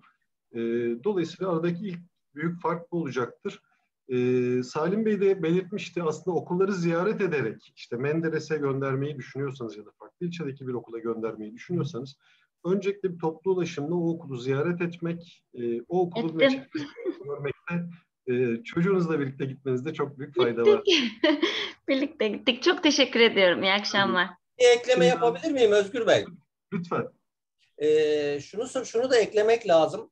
Ee, liseye giden öğrenciler için 11 ve 12. sınıfta ulaşımda kaybettiği zaman dilimi onların için çok değerli. O yüzden hani e, evine yakın olan seviyesi birbirine yakın olan okullarda evine yakın olanı tercih etmek çok daha avantajlı. Çünkü 11 ve 12'de öğrenci eğer gerçekten hedefleri olan bir öğrenci ise o yolda geçen bir saatlik ve onun getirdiği yorgunluk onun için 11 ve 12. sınıfta büyük bir kayıp olabiliyor. O yüzden bunu da düşünmek gerekiyor açıkçası. Hı hı. Teşekkür ederim. Rica ederim. Damla'ya Damla- söz veriyorum. Evet. Ben kontrol aldım. Ee, Damla, mikrofonunu açar mısın? Evet. Merhaba hocam. Hocam ben şey soracaktım. Ben Sağlık Meslek Lisesi'ne gitmeyi düşünüyorum. Sağlık Meslek Lisesi'nde sadece e, e, mesleğe dair şeyler mi öğretiliyor yoksa üniversite sınavına girdiğimizde de sınavda işte çıkan sorulara, derslere de e, dair şeyler öğretiliyor mu? Ben cevap vereyim mi biraz? Şimdi Damlacığım, e, sağlık meslek liselerinde okurken tabii ki diğer alanlarda da 9. sınıfta fizik, kimya, matematik, biyoloji tüm dersleri görüyorsunuz. E, sınavla girersen, LGS sınav sonucuna girer, girersen büyük ihtimalle akademik destek programı orada da olacaktır sağlık meslek lisesinde. E, 12. sınıfta bu programa, üniversite sınavına hazırlık için sana destek verecekler. Ama hani bunun ne kadar yeterli olup olmadığı birazcık da senin 9, 10 ve 11. sınıfta yaptığın kendine e, eksiklerini kapatarak 12. sınıfa gelmektir. E, o yüzden hani çok büyük bir sorun yaşar mısın? E, kendini yetiştirirsen, takviyelerini iyi yaparsan e, olacağını sanmıyorum. Ama e, meslek lisesi olarak e, adrese dayalı bir sağlık meslek lisesine gidersen de 12. sınıfta akademik destek programı olmayacak. Orada daha farklı bir e, matematik, fizik, kimya, biyoloji gibi derslere ihtiyaç duyabilirsin. Melih mikrofonunu açar mısın? İyi akşamlar hocam. İyi İyi akşamlar. akşamlar. E, biz çocuğumuzu aslında sağlık mesleğe göndermek istiyoruz ama seçenek olarak da değişik seçeneklere e, kaydetmem şan, şa- şeysi var mı? Şu anda ben mesela oğlumu şeye gönderiyorum. Saz dersine gönderiyorum. Onun gibi yani. Ee, tam olarak anlayamadım. Sağlık mesleğe gitsin istiyorsunuz. Evet, ben sağlık mesleğe gitmek istiyorum. Göndermek istiyorum. Ama Hı hı. oğlum da tamam okeyliyor. Onu gitmek istiyor.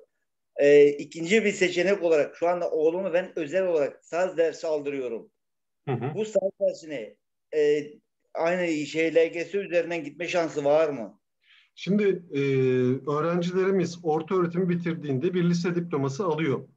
E, bu diplomanın aslında meslek lisesi, Anadolu Lisesi, Fen Lisesi olması bir şey ifade etmiyor. Üniversite sınavına girerken yetenek alanından devam etmek istiyorsa e, bir konservatuar programına da e, hazırlık yapabilir. E, yine üniversite sınavında 9. ve 10. sınıfın müfredatı ortaktır. E, birinci aşamada e, 9-10'un müfredatından sorumlu olur yetenek sınavıyla da e, bir programa yerleşebilir. Yani daha sonrasında sağlık alanında çalışmak zorunda değil, müzik alanında da devam edebilir kolaylıkla. Anladım hocam. Teşekkür ederim. Sağ olun. Ee, Enes mikrofonunu açar mısın? Hocam e, benim sorum şu yani ben de e, sağlık meslek ya da herhangi bir e, kimya gibi e, sağlık şeylerle ilgilenen bir meslek lisesi düşünüyorum da bir lise düşündüm gittim liseye oradaki müdür dedi ki yani biz e, üniversite için hazırlık yapmıyoruz dedi. Şimdi e, seçimim ne olmalı? Sizin öneriniz ne olur yani? Orada bir yanlış anlaşılma olmuş. Ee, sağlık meslek mezunları aslında e, biliyorsun devam niteliğindeki programlara hazırlanır. Yani tabii bu tıp fakültesi değildir. Sağlık meslek için hedef genellikle. İşte hemşireliktir, e, acil tıp teknisyenliğidir. E, bu programlar için e, dediğim gibi 9'un ve 10'un müfredatı ortaktır. E, 11. sınıfta da e, Anadolu Teknik Programı kapsamındaysa zaten ek bir hazırlık ihtimali sunuluyor size. Yine e, 11 ve 12 müfredata hakim olup yine sınava hazırlanabilirsin.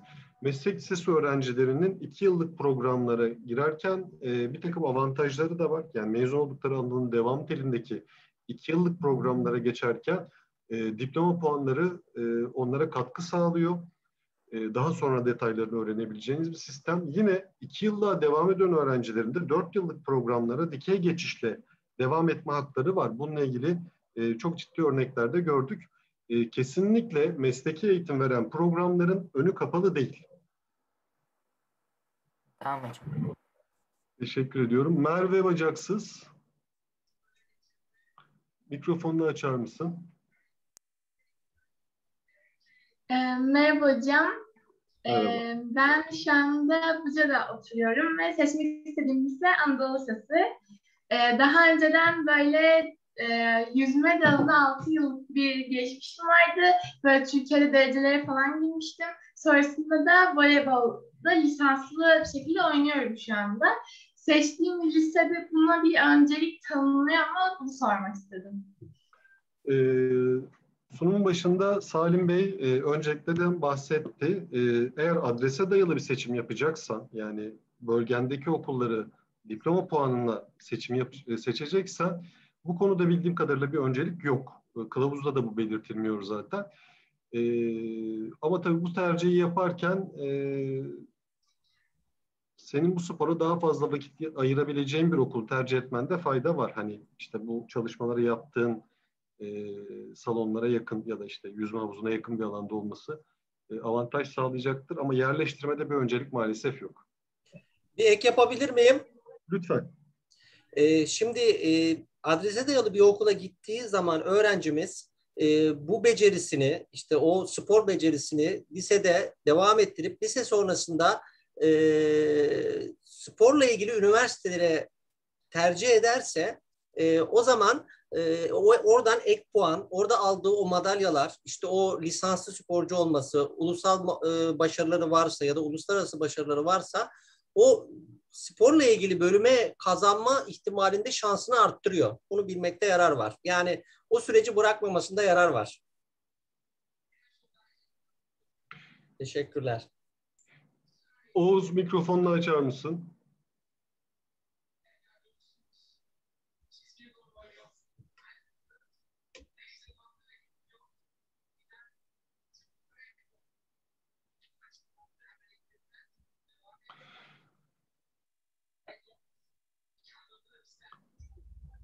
Beril mikrofonunu açar mısın?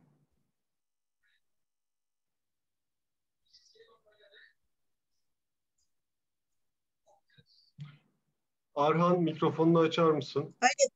Hocam merhaba, merhaba hocam. Beril'in Merhaba. annesiyim ben. Merhabalar, iyi akşamlar.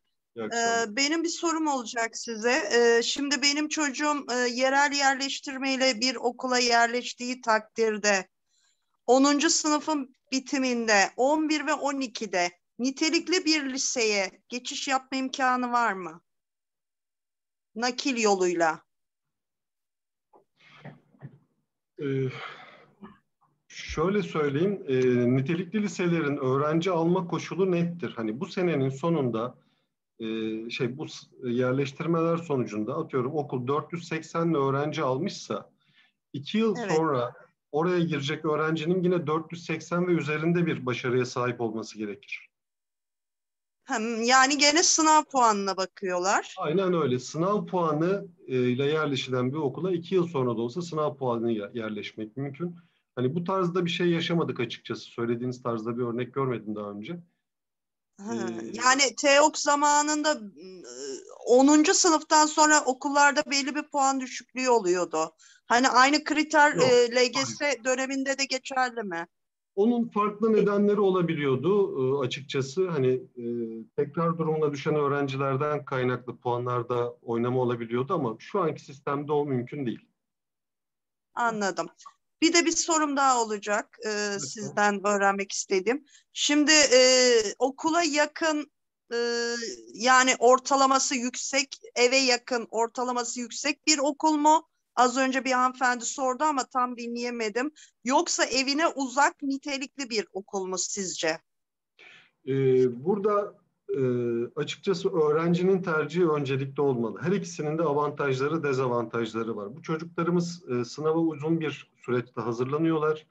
E, Ve Evet. bazen nitelikli bir okula gitmek onlar için birinci öncelik oluyor. Eğer böyle düşünüyorsa e, koşullara uygun olan farklı ilçedeki bir okulda tercih edilebilir. Avantajı nedir? Sınıf mevcutları biraz daha azdır, öğrenci sayıları biraz daha azdır ye- yerel yerleştirmeyle öğrenci alan okullardan. Ancak e, bunun dışında çok ciddi farklar var mıdır? Olmaya da bilir. Hani Buca örneğinden konuştuk. Buca'da çok köklü, e, çok deneyimli kadrolar alan e, iyi liseler var. Ama e, son 3-5 yıl içerisinde bu okulların tabii ki öğrenci mevcutları arttı. Yani sınıflar 30'dan 40'lara 45'lere doğru çıkmıştır bazı okullar için söylüyorum. E, Evet. Bu konuda öğrencimizin tercihi, isteği dikkate alınmalı. Her ikisinde avantaj ve dezavantajları var çünkü. Anladım. Peki teşekkür ediyorum. İyi akşamlar. Rica ederim, iyi akşamlar. Ee, söz vermek için kameralar açık olanlara öncelik vermek istiyorum. Ee, Eser, kameranı açar, şey, mikrofonunu açar mısın? Hocam iyi akşamlar. İyi akşamlar. Ben şimdi doktor olmak istiyorum da ben şimdi buradan sağlık mesleğe gitsem, sağlık meslekten üniversiteye doktor olarak gitsem mesela benim doktor olarak doktor gitme yani doktor olma gibi bir şansım var mı?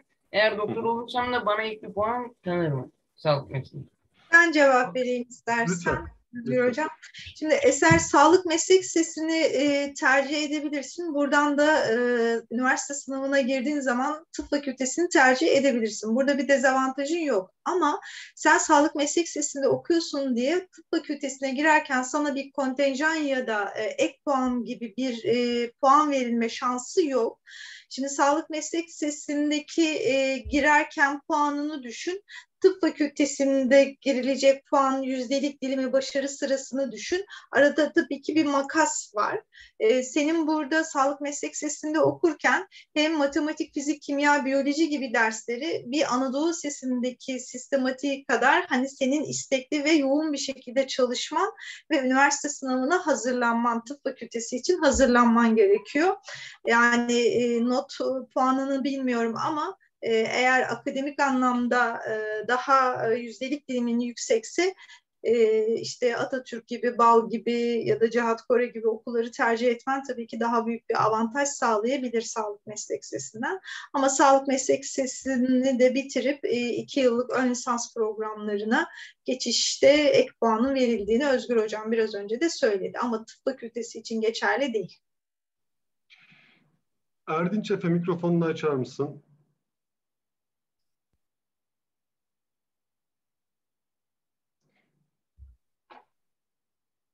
Ee, sanırım ses gelmiyor. Sanırım bir problem var cihazınızla ilgili. Ee, ben bu arada Mehmet Bey'e söz vereyim. Mehmet Bey mikrofonunuzu açar mısınız?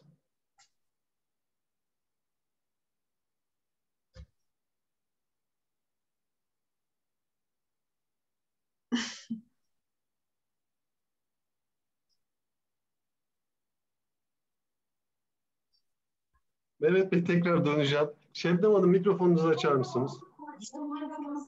Hocam. Buyurun. Merhabalar. İnternetimiz Merhaba. gitti geldi. Kusura bakmayın da. Mehmet Buyurun. Tosun'un velisiyim ben. Hocam e, biraz geç katıldık ama yine de mümkün olduğu kadarıyla takip etmeye çalıştım ben. Şimdi bizim şöyle bir e, ayrıcalığımız oldu. Yani aslında bir sıkıntımız oldu. Depremden etkilendik biz. E, Manavkuyu'da oturuyorduk. Evimiz ağır hasarlı çıktı. Karabağlara taşınmak zorunda kaldık. Ama bu süreçte e, tekrar e, Bornova'ya taşındık yeni. 1 e, Temmuz itibariyle yani iki gün önce. Tercihlerde bizim Bornova'ya taşınmamız adrese dayalı tercihlerde bizim için sıkıntı olur mu yoksa yine Bornova'dan tercih edebilir miyiz adrese dayalı da? Yani belirli bir süre istiyorlar mı bunlarda oturduğumuz adreslerde? Açıkçası çok özel bir durum. Bunu e, şu an kayıtlı olduğunuz okulla bir gör, görüşmenizde fayda var. Öğrencinin bilgileriyle sisteme girdiğinizde kayıt alanı olarak neresi gözüküyor? Ona bakabildiniz sisteme mi? Sisteme henüz girmedim yani bakmadım hocam onu bilmiyorum. Ama hani e, biz Bayraklı'da oturuyorduk. E, depremden dolayı ağır hasarlı çıktı evimiz. Karabağlar'a taş, taşındık. Tabii mecburen okulumuzu da taşıdık. Yani çocuğumuzun okulunu da aldık oraya. Karabağlar'a. Ama bu süreçte de 1 Temmuz itibariyle Bornova'ya taşındık. Anladım. Dilerseniz şöyle yapalım. Bayraklı Rehberlik Araştırma Merkezi'ne yarın telefonla ulaşın. Özgür Demirci tamam. benim ismim. Ee, tamam, çocuğunuz hocam. bilgileriyle sisteme girdikten sonra durumunuzu daha net konuşabiliriz. Açıkçası e, belki Karabağlar'da gözüküyor adresiniz şu an. Belki Bornova'da yani gözüküyor. Yani nüfus müdürlüğünde Ya E-Devlet'ten girdiğimde adresimiz şu an Bornova olarak gözüküyor hocam. Anladım. O Ama zaman tabii- yine sistem üzerinden bakalım yanlış yönlendirmiş olmayalım sizi. Tamam hocam. Dediğim gibi Çünkü ismim Özgür Demirci. Özgür Ee, Demirci benim ismim. 365 60 46'dan bana ulaşabilirsiniz. Tamam hocam. Çok teşekkür ederim. Çok sağ olun. Akşamlar diliyorum. İyi akşamlar. Sağ olun. Ee, iyi akşamlar. İyi akşamlar. Ee, öncelikle Bayraklı RAM çalışanlarını sizleri tebrik ediyorum. Hazırlamış olduğunuz programdan dolayı çok teşekkür ediyorum. Bilgiler gerçekten çok açıklayıcıydı. Ee, ben Bornova sınırları içerisinde bir e, okulda öğretmenim. Fen bilgisi öğretmenliği yapıyorum. Ee, şu anda bekleyen çok öğrencim vardı programınıza katılmak için ama maalesef sınırlı sayıda olduğu için katılım sağlayamadılar. Ee, program sonrasında e, programınızın kaydı YouTube'da yayınlanacak mı ve paylaşımlarınız, sunumlarınız e, gerçekten çok iyiydi. Oğlum da Bayraklı bölgesinde 8. sınıf öğrencisiydi. Bunlardan faydalanmak istiyoruz. E, sunumlarınızı paylaşabileceğiniz bir link verebilir misiniz?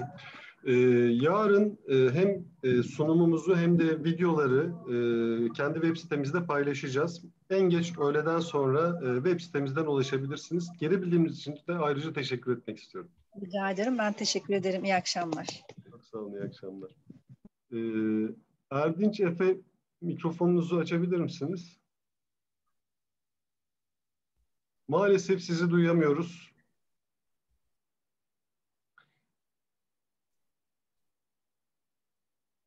Maalesef mikrofonunuzla ilgili teknik bir problem var. Hiç sesiniz gelmiyor. Engin Günaydın mikrofonunuzu açabilir misiniz? İyi akşamlar Özgür Hocam. İyi akşamlar. Ee, öncelikle teşekkür ederim. Sabah 8.30 pardon akşam 8.30'da başladı galiba yaklaşık. Saat 10.30 oldu. Hala özveriyle devam ediyorsunuz. Bu değerli katkılarınız için teşekkür ederim hocam. Çok Size ve şahsınızda diğer arkadaşlarımıza. Ee, sormak istediğim hocam ben bir şey anlayamadım. Ee, ben de öğretmenim. Ee, benim e, oğlum da bu sene yerleştirmeye başvurdu. Ee, Işılay Saygın'da müzik bölümüne başvurdu. E, tercih yapamayacak denildi ama takvimi incelediğimde 26 Temmuz'da merkez yerleştirme sonuçlarını Işılay Saygın'da duyuracağını ilan etmiş. Ama 16'sına kadar da tercih yapmamız gerekiyor. Bir yandan da. E, tercih yaptığımızda Işılay Saygın eğer kazanırsa e, özel yetenek sınavını bu durumda tercih de yapmış olacağız. 26'sında hangisi açıklanacak? Birisi silinecek mi? Yok 26'sında ikisi birden açıklanacak. Yalnız sizin e, şu an e, kayıt aşamasında olmanız lazım. Sonuçlarını açıklamadı mı Işılay Saygın? Işılay Saygın 5'inde mülakat sınavını alacak. Yani çarşamba günü mülakata girecek özel yetenek sınavına. Onun açıklanacağı tarih olarak da 26 Temmuz'u veriyor. Yani kılavuz da onu veriyor. Güzel Sanatlar Lisesi başvuru kılavuzu. 16 Temmuz'da her ikisi de açıklanacak e, dedi. E, Salim Bey'di galiba. Salim Evet, hocamız. evet. Ee, Orada bir e, çelişki var, tuhaflık var. E, Biz bu durumda merkezi yerleştirme ve sınavla yerleştirme, yerel yerleştirmeye başvuramayacak mıyız? Başvurursak iptal mi olacak 26'sında Işılay Saygın özel yeteneği olumlu olursa? Ben bir Ee, açıklama yapayım mı lütfen, Özgür Hocam? Lütfen.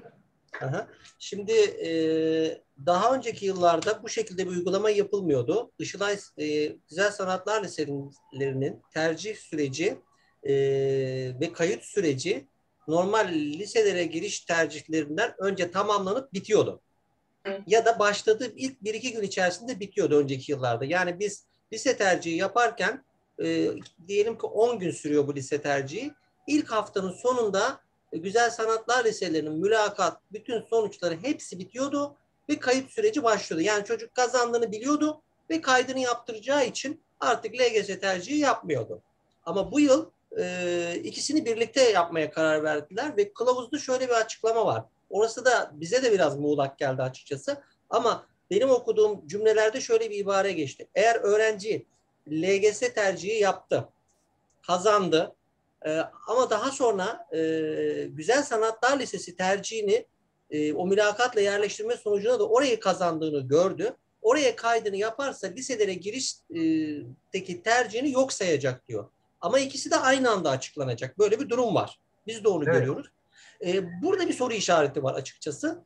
E, benim anladığım ben hani sizin yerinizde olsam şunu yaparım. Işılay Saygın'daki mülakat sınavına siz zaten bir birkaç gün içinde gideceksiniz. Gittiğinizde Evet. oradakiler bu değişimin nasıl çözümlendiğini size net olarak açıklarlar bence.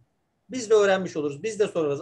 Ben bu sunumu yapacağımız zaman bunu cuma günü fark ettim. Ama cuma günü geç saatte bir Güzel Sanatlar Lisesi'ni arayıp sorabileceğim kişi yoktu açıkçası. Kafamda da soru işareti kaldı. Siz dile getirdiniz. Çok iyi oldu. Biz de pazartesi mutlaka öğreniriz. Ama siz de zaten e, önümüzdeki hafta içinde mülakat sınavına gittiğinizde oradaki durumu netleştirip e, LGS tercihinizi de ona göre yaparsınız bence.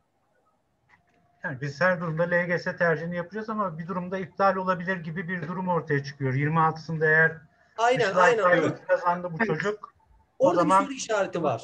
iptal edelim. diyecekler. Aynen. Ama burada öğrenciyi mağdur edecek bir sonuç uygulama yapılmaz bence. Ee, hatta eğer öğrenci özel yetenekle alan yeri daha çok istiyorsa önceliği ona tanır öyle bir durumda.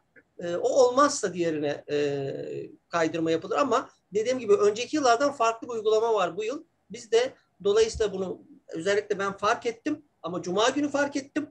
E, ulaşamadığım için kaldı açıkçası ama siz hatırlattınız çok iyi oldu. Siz eğer bununla ilgili bir bilgi edinemezsiniz. E, biz rehberlik araştırma merkeziyle bunu öğrenip paylaşırız. Bizi tekrar arayabilirsiniz önümüzdeki hafta pazartesi salı. Anladım Salim Hocam. Çok teşekkür Tamam. ederim. Size de tekrar ederim. teşekkür ederim. Bu saate kadar buradaydınız. İyi akşamlar. İyi akşamlar. Ee, Türkan mikrofonunu açar mısın? Merhabalar, iyi akşamlar. İyi akşamlar. Ee, şimdi öncelikle benim çocuğumun karne e, notu 83.3.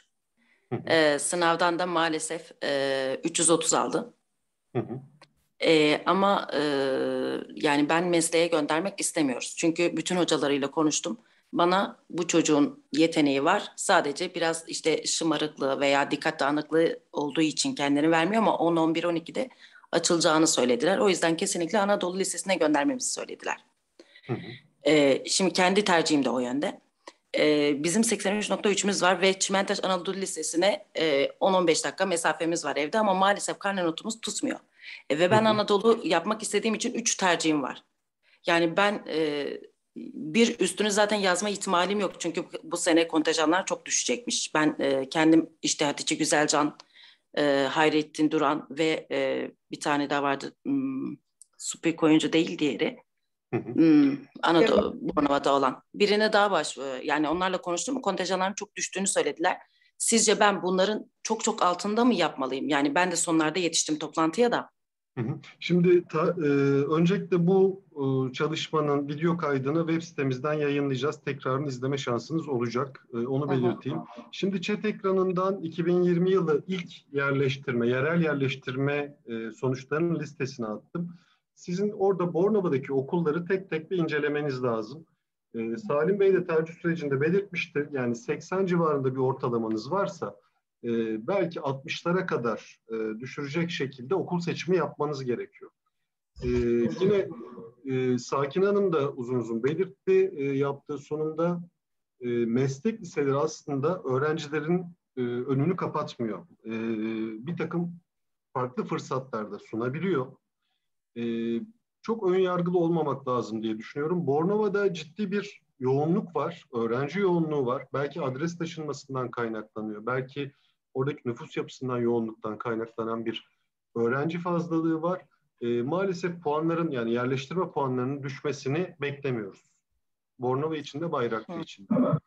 Risk almamak için e, 80'in altına düşmenizde fayda var. 70, 60 olabilir. Paylaştığım linkten İzmir'deki tüm okulların, geçen yıl e, sınavsız alan tüm okulların e, ilk yerleştirme sonuçlarına ulaşabilirsiniz. Tamam teşekkür ederim. Çok sağ olun hocam. İyi toplantılar. Çok teşekkür ederim. Sağ olun. İyi akşamlar. İyi Ee, akşamlar. Dicle Hanım mikrofonunuzu açar mısınız? Merhaba, Evet. iyi akşamlar. İyi Biz de akşamlar. aslında az evvel bahsettiler. Depremzedelerle alakalı bir soru soracaktım. Kuzenim adına konuşuyorum bu arada. İp Osman Koçero'da. Bayraklı'da okuyor öğrencimiz ama şu an Bornova'da, ikameti de orada. Ee, biz şey diye düşündük. Siz de bahsettiniz. Bornova'da bir yoğunluk var. Acaba biz yerel yerleştirme üzerinde düşünüyoruz şu an. İyi bir puan var öğrencimizin. Yerel yerleştirme de yapacağız. Tercihimizi yapacağız.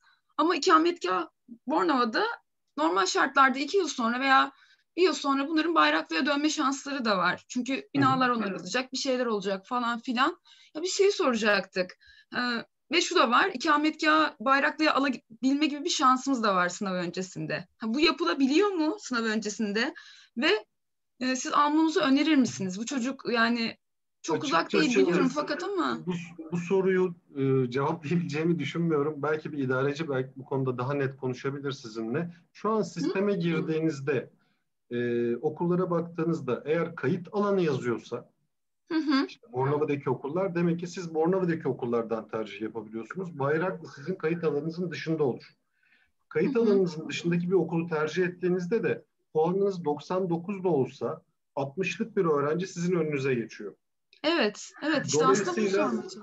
evet mevcut adresinize uygun tercih yapmanız gerekiyor. Ama şu aşamada e, nakil bir fark yaratır mı? İnanın bunu bilmiyorum. Bir idareci daha doğru yanıt verebilir size. Çok teşekkür ediyorum. Sağ olun. Rica ediyorum. İyi akşamlar diliyorum. İyi akşamlar. Irmak mikrofonunu açar mısın? Ee, merhaba hocam.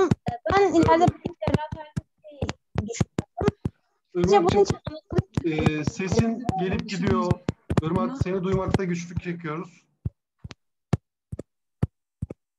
Bağlantı ile ilgili problemim var galiba. Biraz daha yüksek.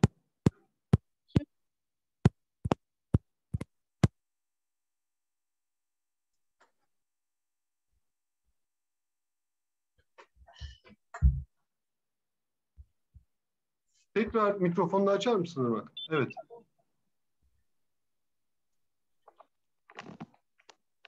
şimdi geliyor mu hocam? Evet. Ben ileride beyin cerrah istiyorum. Yani doktor olmak istiyorum. Ee, bunun için sizce Anadolu Lisesi'ne gerekiyor yoksa hani sağlık meslek mi okumam daha iyi olur. Irmak şöyle söyleyeyim. Tıp fakültesine girmenin ön koşulu e, üniversite sınavında ilk 40 bine girebilmek. Yani ücretli ya da devlet üniversitelerinde okumak için. İzmir'de tıp fakültesi okumak istiyorsan da e, 10 binin altına inmen gerekiyor ortalamanın. Dolayısıyla e, sağlık meslek lisesi ancak e, diğer branşlarda hemşirelik gibi, tıp teknisyenlik gibi alanlarda e, daha fazla imkan sağlayacaktır. Ama tıp eğitimi almak istiyorsan e, bir Anadolu Lisesi'nde eğitim alman daha uygun olacaktır. Başarılar diliyorum şimdiden sana. Ee, Erdinç Efe bir daha deneyelim. Mikrofonunuzu açabilirseniz. İyi akşamlar Özgür Bey. Şu an geliyor mu sesiniz? İyi akşamlar. Gayet net. Hı. Tamam Buyurun. şükür. Şimdi e, öncelikle iki tane sorum olacak eğer uygun olursanız. Birincisi biz akademik eğitim alacak e, heveste değiliz. Oğlumun çok iyi bir puanı yok maalesef e, LGS'den.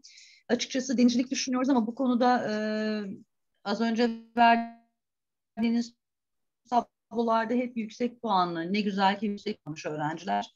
Ön örneklerini verdiniz ama e, yüzde olan benim düşük puan alan öğrencilerin tercih yaparken e, dikkat etmeleri gereken hususlar hakkında biraz bilgi isteyeceğim sizden. Ve özellikle denizcilik bölümü olan okullarla alakalı. Bayraklı'da böyle bir okul var mı? Benim tespit ettiğim Konak ve Çınarlı var. Denizcilik Hı hı. bölümü alan. Hatta e, bunu cevapladıktan sonra da şunu sormak istiyorum. Konak Şehit İdari Ateşe Mesleki ve Teknik Anadolu Lisesi var. Denizcilik bölümü var. E, iki şekilde öğrenci alıyor okul türü olarak. ATP ve AMP'den. Yani merkezi sınavla da alıyor, mahalli yerleştirmeyle de alıyor. E, bu iki değişik bölümde iki değişik grup öğrencinin okuması anlamına mı geliyor? Veya hangi anlama geliyor? Biz çünkü bu konuda çok e, kültürlü değiliz. ATP ve. AMP'nin ders yükleri birbirinden farklı. Sakine Hanım'ın e, anlatım yaptığı bölümde buraya e, bu konuya değinmiştik. E, ATP programlarına sınavla öğrenci alınıyor ve o çocuklar e, direkt o bölümden başlıyorlar. 12. sınıfta da e, akademik e, ders paketiyle üniversite sınavına hazırlanıyorlar. AMP programları biraz daha uygulamaya dönük programlardır ama e, denizle ilgili programlarda şöyle bir şey var. Gemi adamı olur sağlık raporu istenir. Evet. E, bu belgeyi temin Evet. etmeniz durumunda bu okullara kayıt yaptırabiliyorsunuz. Bununla ilgili detaylar da e, Gemi Adamı Olur raporu şeklinde internetten aradığınızda ulaşabilirsiniz. E, Çınarlı'da var dediğiniz gibi e, diğer okul şeyde Tepecik diye geçiyor bölge. Pardon. Ne var Salih biz denize- var. Denize çok uzak değiliz. Hani deniz olayına çok uzak değiliz. Ne var Salih'te var mı denizcilik bölümü? Evet, kampüs Hı hı. 4'te var diye biliyorum. Ne var Salih? Kampüs 4'te var. Evet. Anladım. E, Son olarak Çeşme'deki yatılı okulla alakalı bizim şansımız var mıdır? Onu da sorup çok vaktinizi almayacağım. Ben küçük bir şey söyleyeyim. Çeşme'deki okul hani 2-3 yıl önce belki 4-5 yılda olabilir çok iyi hatırlamıyorum ama tematik okullardan bir tanesidir Çeşme. Yani seçili okullardan bir tanesiydi ve altyapı olarak da birçok donanıma sahip olan okullardan bir tanesidir Çeşme. Çeşme'de bildiğim kadarıyla da yatılılığı var. E, denenmesi gereken okullardan bir tanesidir. E, bence alternatifler arasına alınabilir ama sınavla öğrenci alır. E, ama AMP programı da olabilir. İkisini de bence deneyebilirsiniz. Ama bunda öncelik olarak e, Sınavla genel- derken LGS puanından bahsediyorsunuz değil mi Aynen. hocam? Ama biliyorsunuz ki LGS puanını tabii sormayacağım şu anda ama hani LGS puanı ile geçen seneki puanlarını lütfen bir e, karşılaştırın. E, Bence e, denenebilir. E, yalnız gemi adımı olur raporu dedi e, biraz önce Özgür Hocam. Onu sağlık raporu gibi düşünün. Onun alınması gerekiyor. Hani herhangi bir sağlık Başvurudan problemi önce mi alacağız o raporu? başvuru yaparken alıyorsunuz zaten. Hani tercih döneminde mülakat sistematiğine girmeden hani onu e, hani başvuru yapsanız bile bunu alabilecek durumda olup olmadığınızı öğrenmiş olmanız lazım. Siz kayıt yaptırırken bunu sizden Anladım. isteyecekler. Onu öğrenmiş olmanız ve alıyor olabilmeniz gerekiyor. Anladım. Tamam. Çok teşekkür ediyorum. Sağ olun. Ben derim. İyi akşamlar. Kolay gelsin. Hayırlısı olsun. Hayırlısı olsun.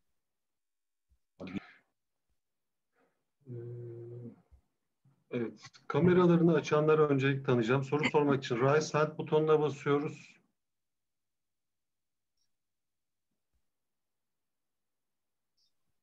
Nisa Özgür mikrofonunu açar mısın?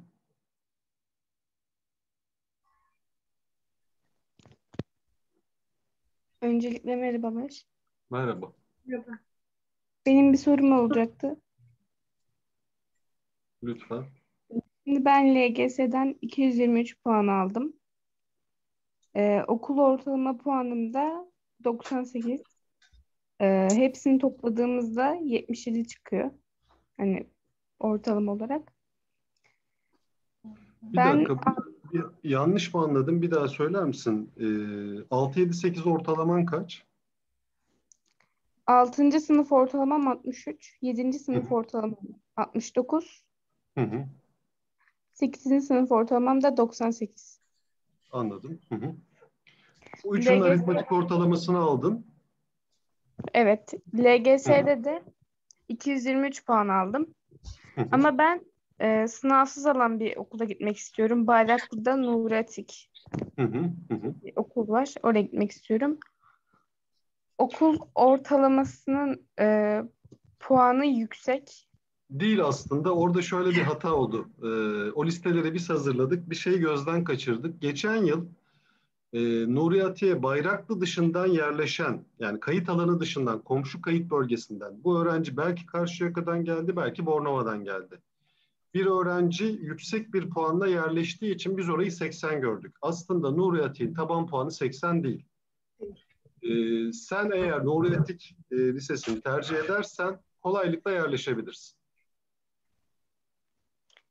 Teşekkür ederim bilgilendirdiğiniz için. Kolay gelsin. Rica ederim. Başarılar diliyorum şimdiden.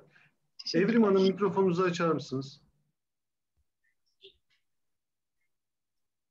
akşamlar. Merhaba, İyi iyi akşamlar. akşamlar.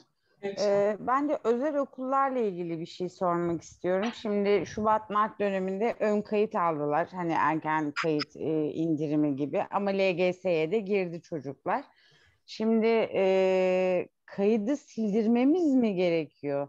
Sildirirsek bu sefer okul bizden kayıt parası alacak belki de. Şimdi e, eğer bir sözleşme imzaladıysanız okulun sizden e, ödediğiniz rakamın bir kısmını kesme hakkı var. Öncelikle onu Tabii söyleyeyim. tamam onu kabul Ee, ediyorum ama e, hani şimdi ön kayıt yaptırdım diye ben o parayı ödeyeceğim ama mesela LGS'de e, iyi bir puanı var ve bir Anadolu Lisesi'ne girecek. Ona girerse ben o ödemeyi kabul edeceğim. Evet. Eğer girmezse erken kayıtlı o okula devam etmesini istiyorum. Ee, ya bu noktada sistem açıkçası çok net işliyor. Eğer çocuğun kaydı bir özel okulda gözüküyorsa tercih yapma şansınız yok. Şimdi konuda tercih belki- rehberi açılıyor ama bize. O zaman şu an kayıtlı gözükmüyorsunuz sistemde. Ön Evet. kayıt olduğu için mi? Ön kayıt muhtemelen kağıt üzerinde hani yapılmış bir işlemdir. Tabii kayıt Henüz üzerinde yaptık. e, resmi sisteme işlenmediği için e, Milli Eğitim'de bunu yok kabul ettiği için siz tercih yapabilecek durumda gözüküyorsunuz. Ama okul bu süreçte bir işlem yaparsa otomatikman tercih ekranı sizin için kapanacaktır. Anladım. Bunu e, kaydettirdiğiniz okulla görüşmemiz Evet, bir lazım. görüşmeniz lazım. Zaten onlar da sizi kayıt için bu dönemde mutlaka arayacaktır. E, ticari Tabii, kaygılarla öyle key- söyleyeyim. case- Anladım. Peki çok teşekkür ediyorum. Rica İyi akşamlar, İyi akşamlar diliyorum. Fatma Hanım mikrofonunuzu açar mısınız? İyi akşamlar hocam. Öncelikle teşekkür ederiz bu güzel bilgilendirmeniz için. Çok Ee. Ben kardeşim adına size bir şey sormak istiyorum. Biz Buca'da yaşıyoruz. Ee, ortalamamız 99. Ortalamamız güzel ama e, puanımız çok iyi değil. 380 puan aldık. Acaba ben e, nitelikli okulları zorlamalı mıyım? Yoksa hem zamandan tasarruf yapmak adına yakınımda olan işte atıyorum 85. yıl e, ya da Buca Anadolu gibi bir okula gönderip çocuğu hani hem yakın gelmesi gitmesi kolay diye düşünüp oralardan mı oralarda mı bırakmalıyım öyle mi ilerlemeliyim? Ee, yani ismini belirttiğimiz her iki okulda gerçekten e, çok iyi tanınan hani iki yıl öncesine, üç yıl öncesine kadar e, sınavlarda e, tercih oranı yüksek olan okullardı. Şu an e, yerel okullara dönüştüler, yerel kayıtlı öğrenci alan okullara dönüştüler. Bu okullar gerçekten çok iyi. Öğrenciniz de buralara kolaylıkla yerleşecek gibi gözüküyor. Evet. Ee, ama bu noktada seçim, e, sizden önce de benzer bir soru gelmişti. Mutlaka öğrencinin seçimi olmalı. Ben bu sınava hazırlandım, elde ettiğim sonuç beni temsil etmiyor ama ben yine de nitelikli bir okula gitmek istiyorum diyorsa e, bırakın bu seçimi yapsın ve siz de arkasında durun. Hayır benim için önemli değil. Ben 60. yıl- şey e, e, Buca Lisesi'nde de ya da 85. yılda da mutlu olurum diyorsa e, oraya da devam edebilir. E, hiç tereddütünüz olmasın. Sınıf mevcutları dışında ben e, bu okulların da e, diğer okullardan farkı olduğunu düşünmüyorum. Şey daha hemen çok uzatmadan hocam. Ee, mesela 85. yılında çok güzel bir lise olduğunu biliyoruz. Neden orası yerel tercihle kaldı, e, diğerleri gibi puanla almıyor? E, bu e, sistem e, kurulduğunda hedeflenen e, yüzde onluk bir kitlenin e, bu tip okullara yerleşmesiydi. E, ve hani baktığınızda işte puanlardan falan da bahsettik. Pek çok okul hatta yüzde beşlik, yüzde altılık dilime sıkışmış durumda. İzmir'de çok popüler okulların yüzde beşlik, altılık dilime sıkıştığını Evet. görüyorsunuz. E, geri kalan kısımda da e, diğer okul türlerinden nitelikli olanlar var. Sayının azaltılmasının nedeni bu.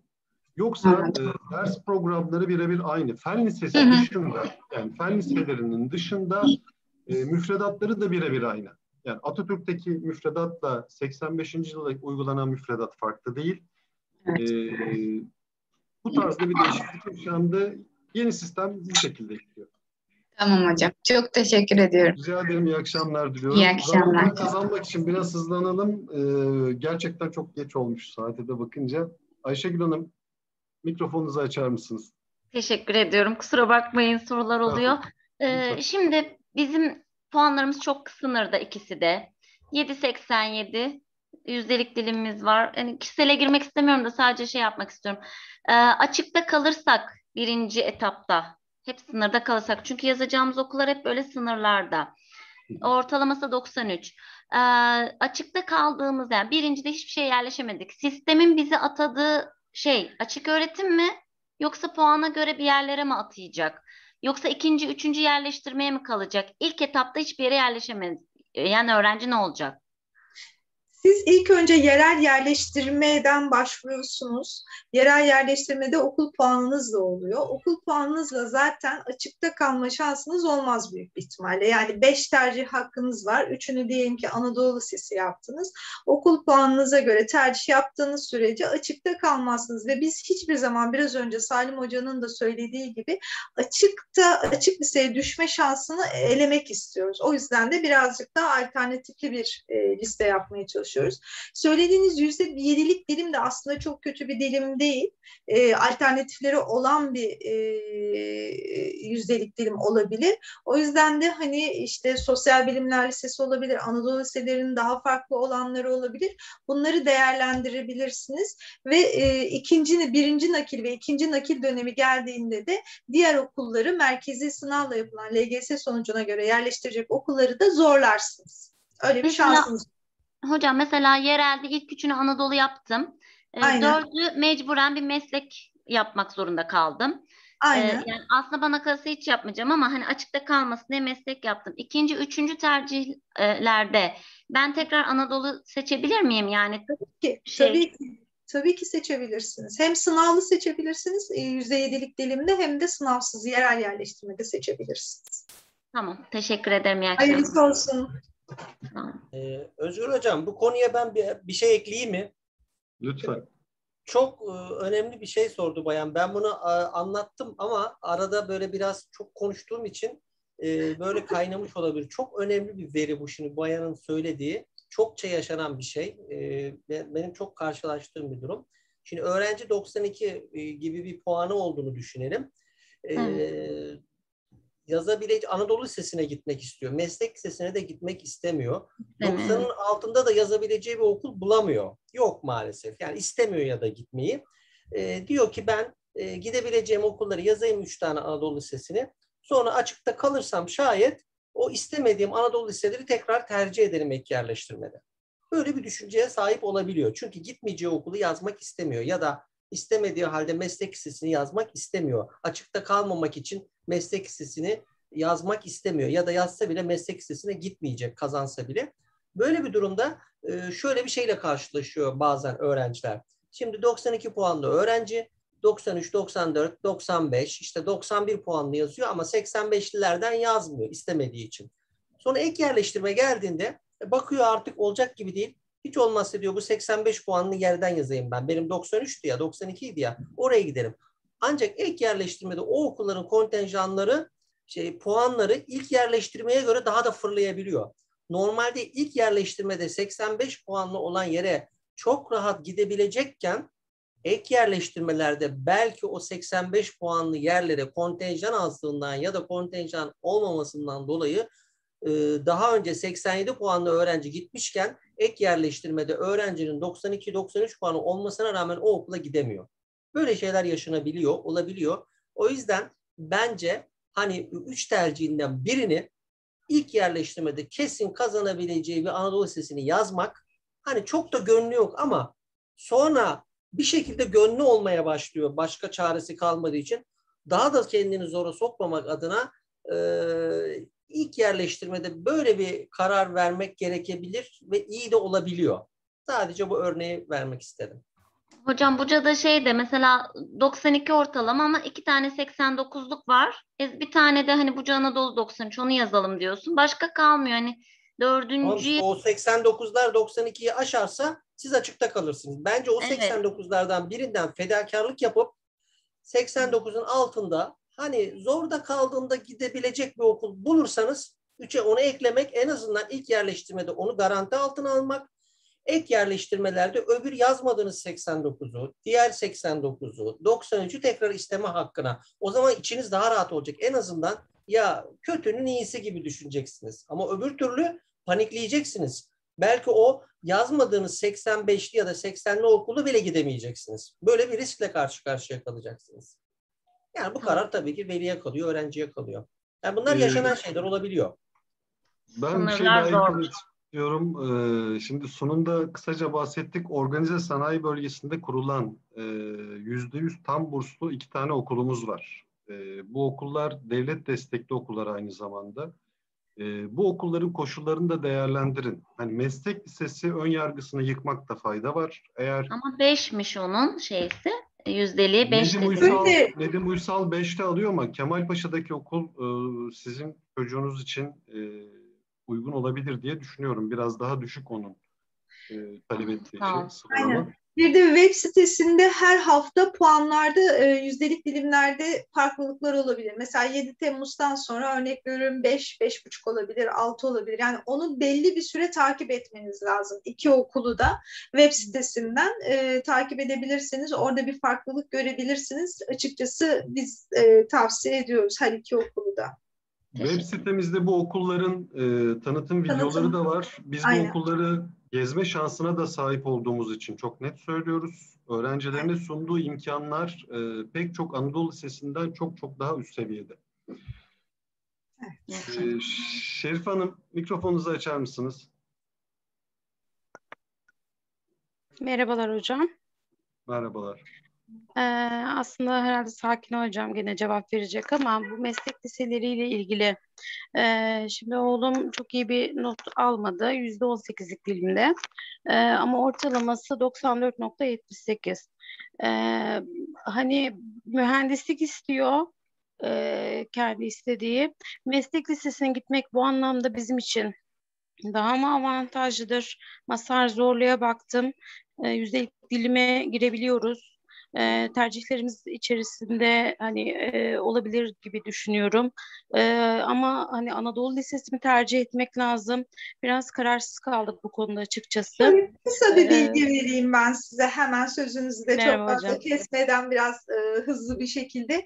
Şimdi Hı hı. mesleki teknik okullarda e, teknoloji fakülteleri denilen bir fakülte sistematiği var üniversitelerin ve burada e, meslek liseleri mezunlarına METOK dedikleri bir kontenjan ayrılıyor. Yani eğer çocuğunuz örnek veriyorum Masar Zorlu'ya gitti, otomasyon okudu ve bunun mühendisliğini okumak istiyor. Anadolu liseleri dışında örnek veriyorum onlar 420 ile oraya girerken mesleki teknik okuldan mezun olan bir öğrenci otomasyonla ilgili alanı 380 ile girebiliyor. Örnek veriyorum şu anda. Yani Avantajlı daha oluyor. avantajlı oluyor. Evet. Yani mühendislik istiyorsa ve kendi alanında bir Kendi alan alanında. Hı hı. İstediği anda çok güzel bir avantaja sahip oluyor. Bu üniversiteler biz onların tanıtımlarını da yaptık. Gazi Üniversitesi, Marmara Üniversitesi, Celal Bayar Üniversitesi, Kocaeli çok fazla var. Yaklaşık 12-13 taneden fazla fakültelerde de var. Ama bölümler farklı, farklı, kontenjanlar farklı farklı. Kesinlikle ve kesinlikle tavsiye ederim. Kemal Hocam Paşa- nereden öğrenebilirim bu üniversiteleri e, hangileri olduğunu? Yani Ee, bize. Şimdi Yok bizim web- vardır da biz de yayınla, yayınlayacağız herhalde. Ee, Bizim web sitemizdeki dokümanlar içerisinde e, bu okulların bilgileri var. E, ben Tamam. chat ekranından paylaşmıştım. Lütfen web sitemize bakın. E, mesleki teknik eğitimle ilgili çok detaylı çalışmalarımız var. Tamam, Ee, not ve- alıyorum. E, bütün ön yargıların kırılmasından yanayız. Hani e, bir e, nitelikli bir okula, nitelikli bir meslek lisesine yerleşen bir öğrencinin eğer hedefi üniversite ise kolaylıkla gidebilir. E, metoklar bu konuda bir avantajdır. İki yıllıkları, iki yıllıklara girerken e, zaten ek puanla giriyorlar. İki yıllıklardan da dikey geçişte dört yıllıklara geçebiliyorlar. En önemlisi e, videolarımızı mutlaka izleyin. İşte Marmara Üniversitesi ile yapmıştık bir çalışma.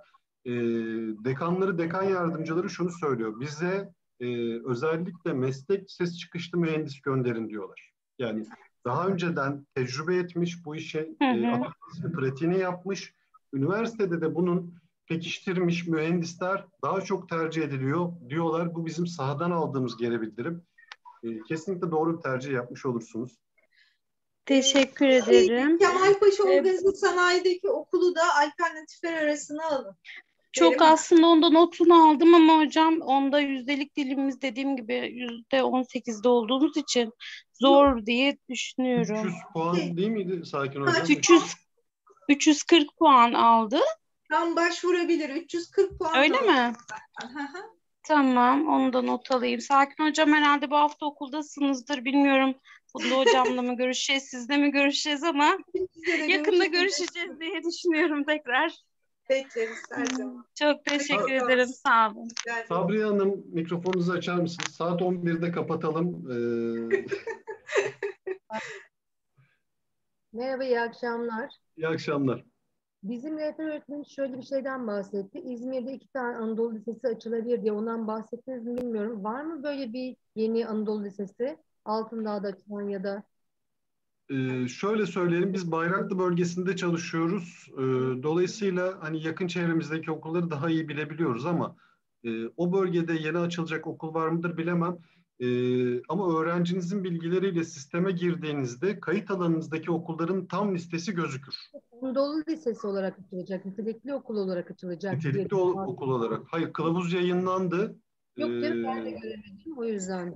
Yok hayır, kılavuz yayınlandı. Orada belki farklı bir yanlış anlaşılma olmuş olabilir. Özgür Hocam Altındağ Anadolu Lisesi açıldı. Adrese dayalı. Serintepe Mahallesi'nde. Hayır hayır nitelikli okul olarak. Nitelikli okul yok. Nitelikli Yok. okul yok. Ha tamam pardon teşekkür ederim. Evet, son soruyu Asude'den alıyoruz. Asude mikrofonunu açar mısın? Merhaba hocam. Merhaba. Ee, hocam benim e, ortalamam e, hani okul ortalamam 93. Hı hı. Ee, şey, okul karşıya e, tane okul? Asude bağlantı problemim var. Asude seni duymakta zorlanıyoruz. Hı hı. Asude seni duymakta zorlanıyoruz. Hocam Ee, duyuyor musunuz? Tekrarlar mısın?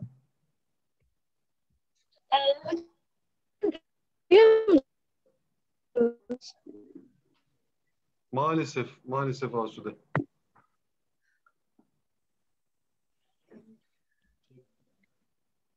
Duyuyor musunuz şu an?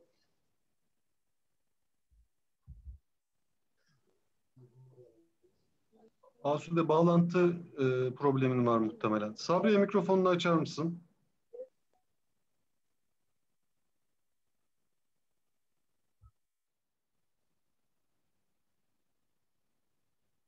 Ben sormuştum öğretmenim teşekkür ederim. Kal- Pardon özür dilerim.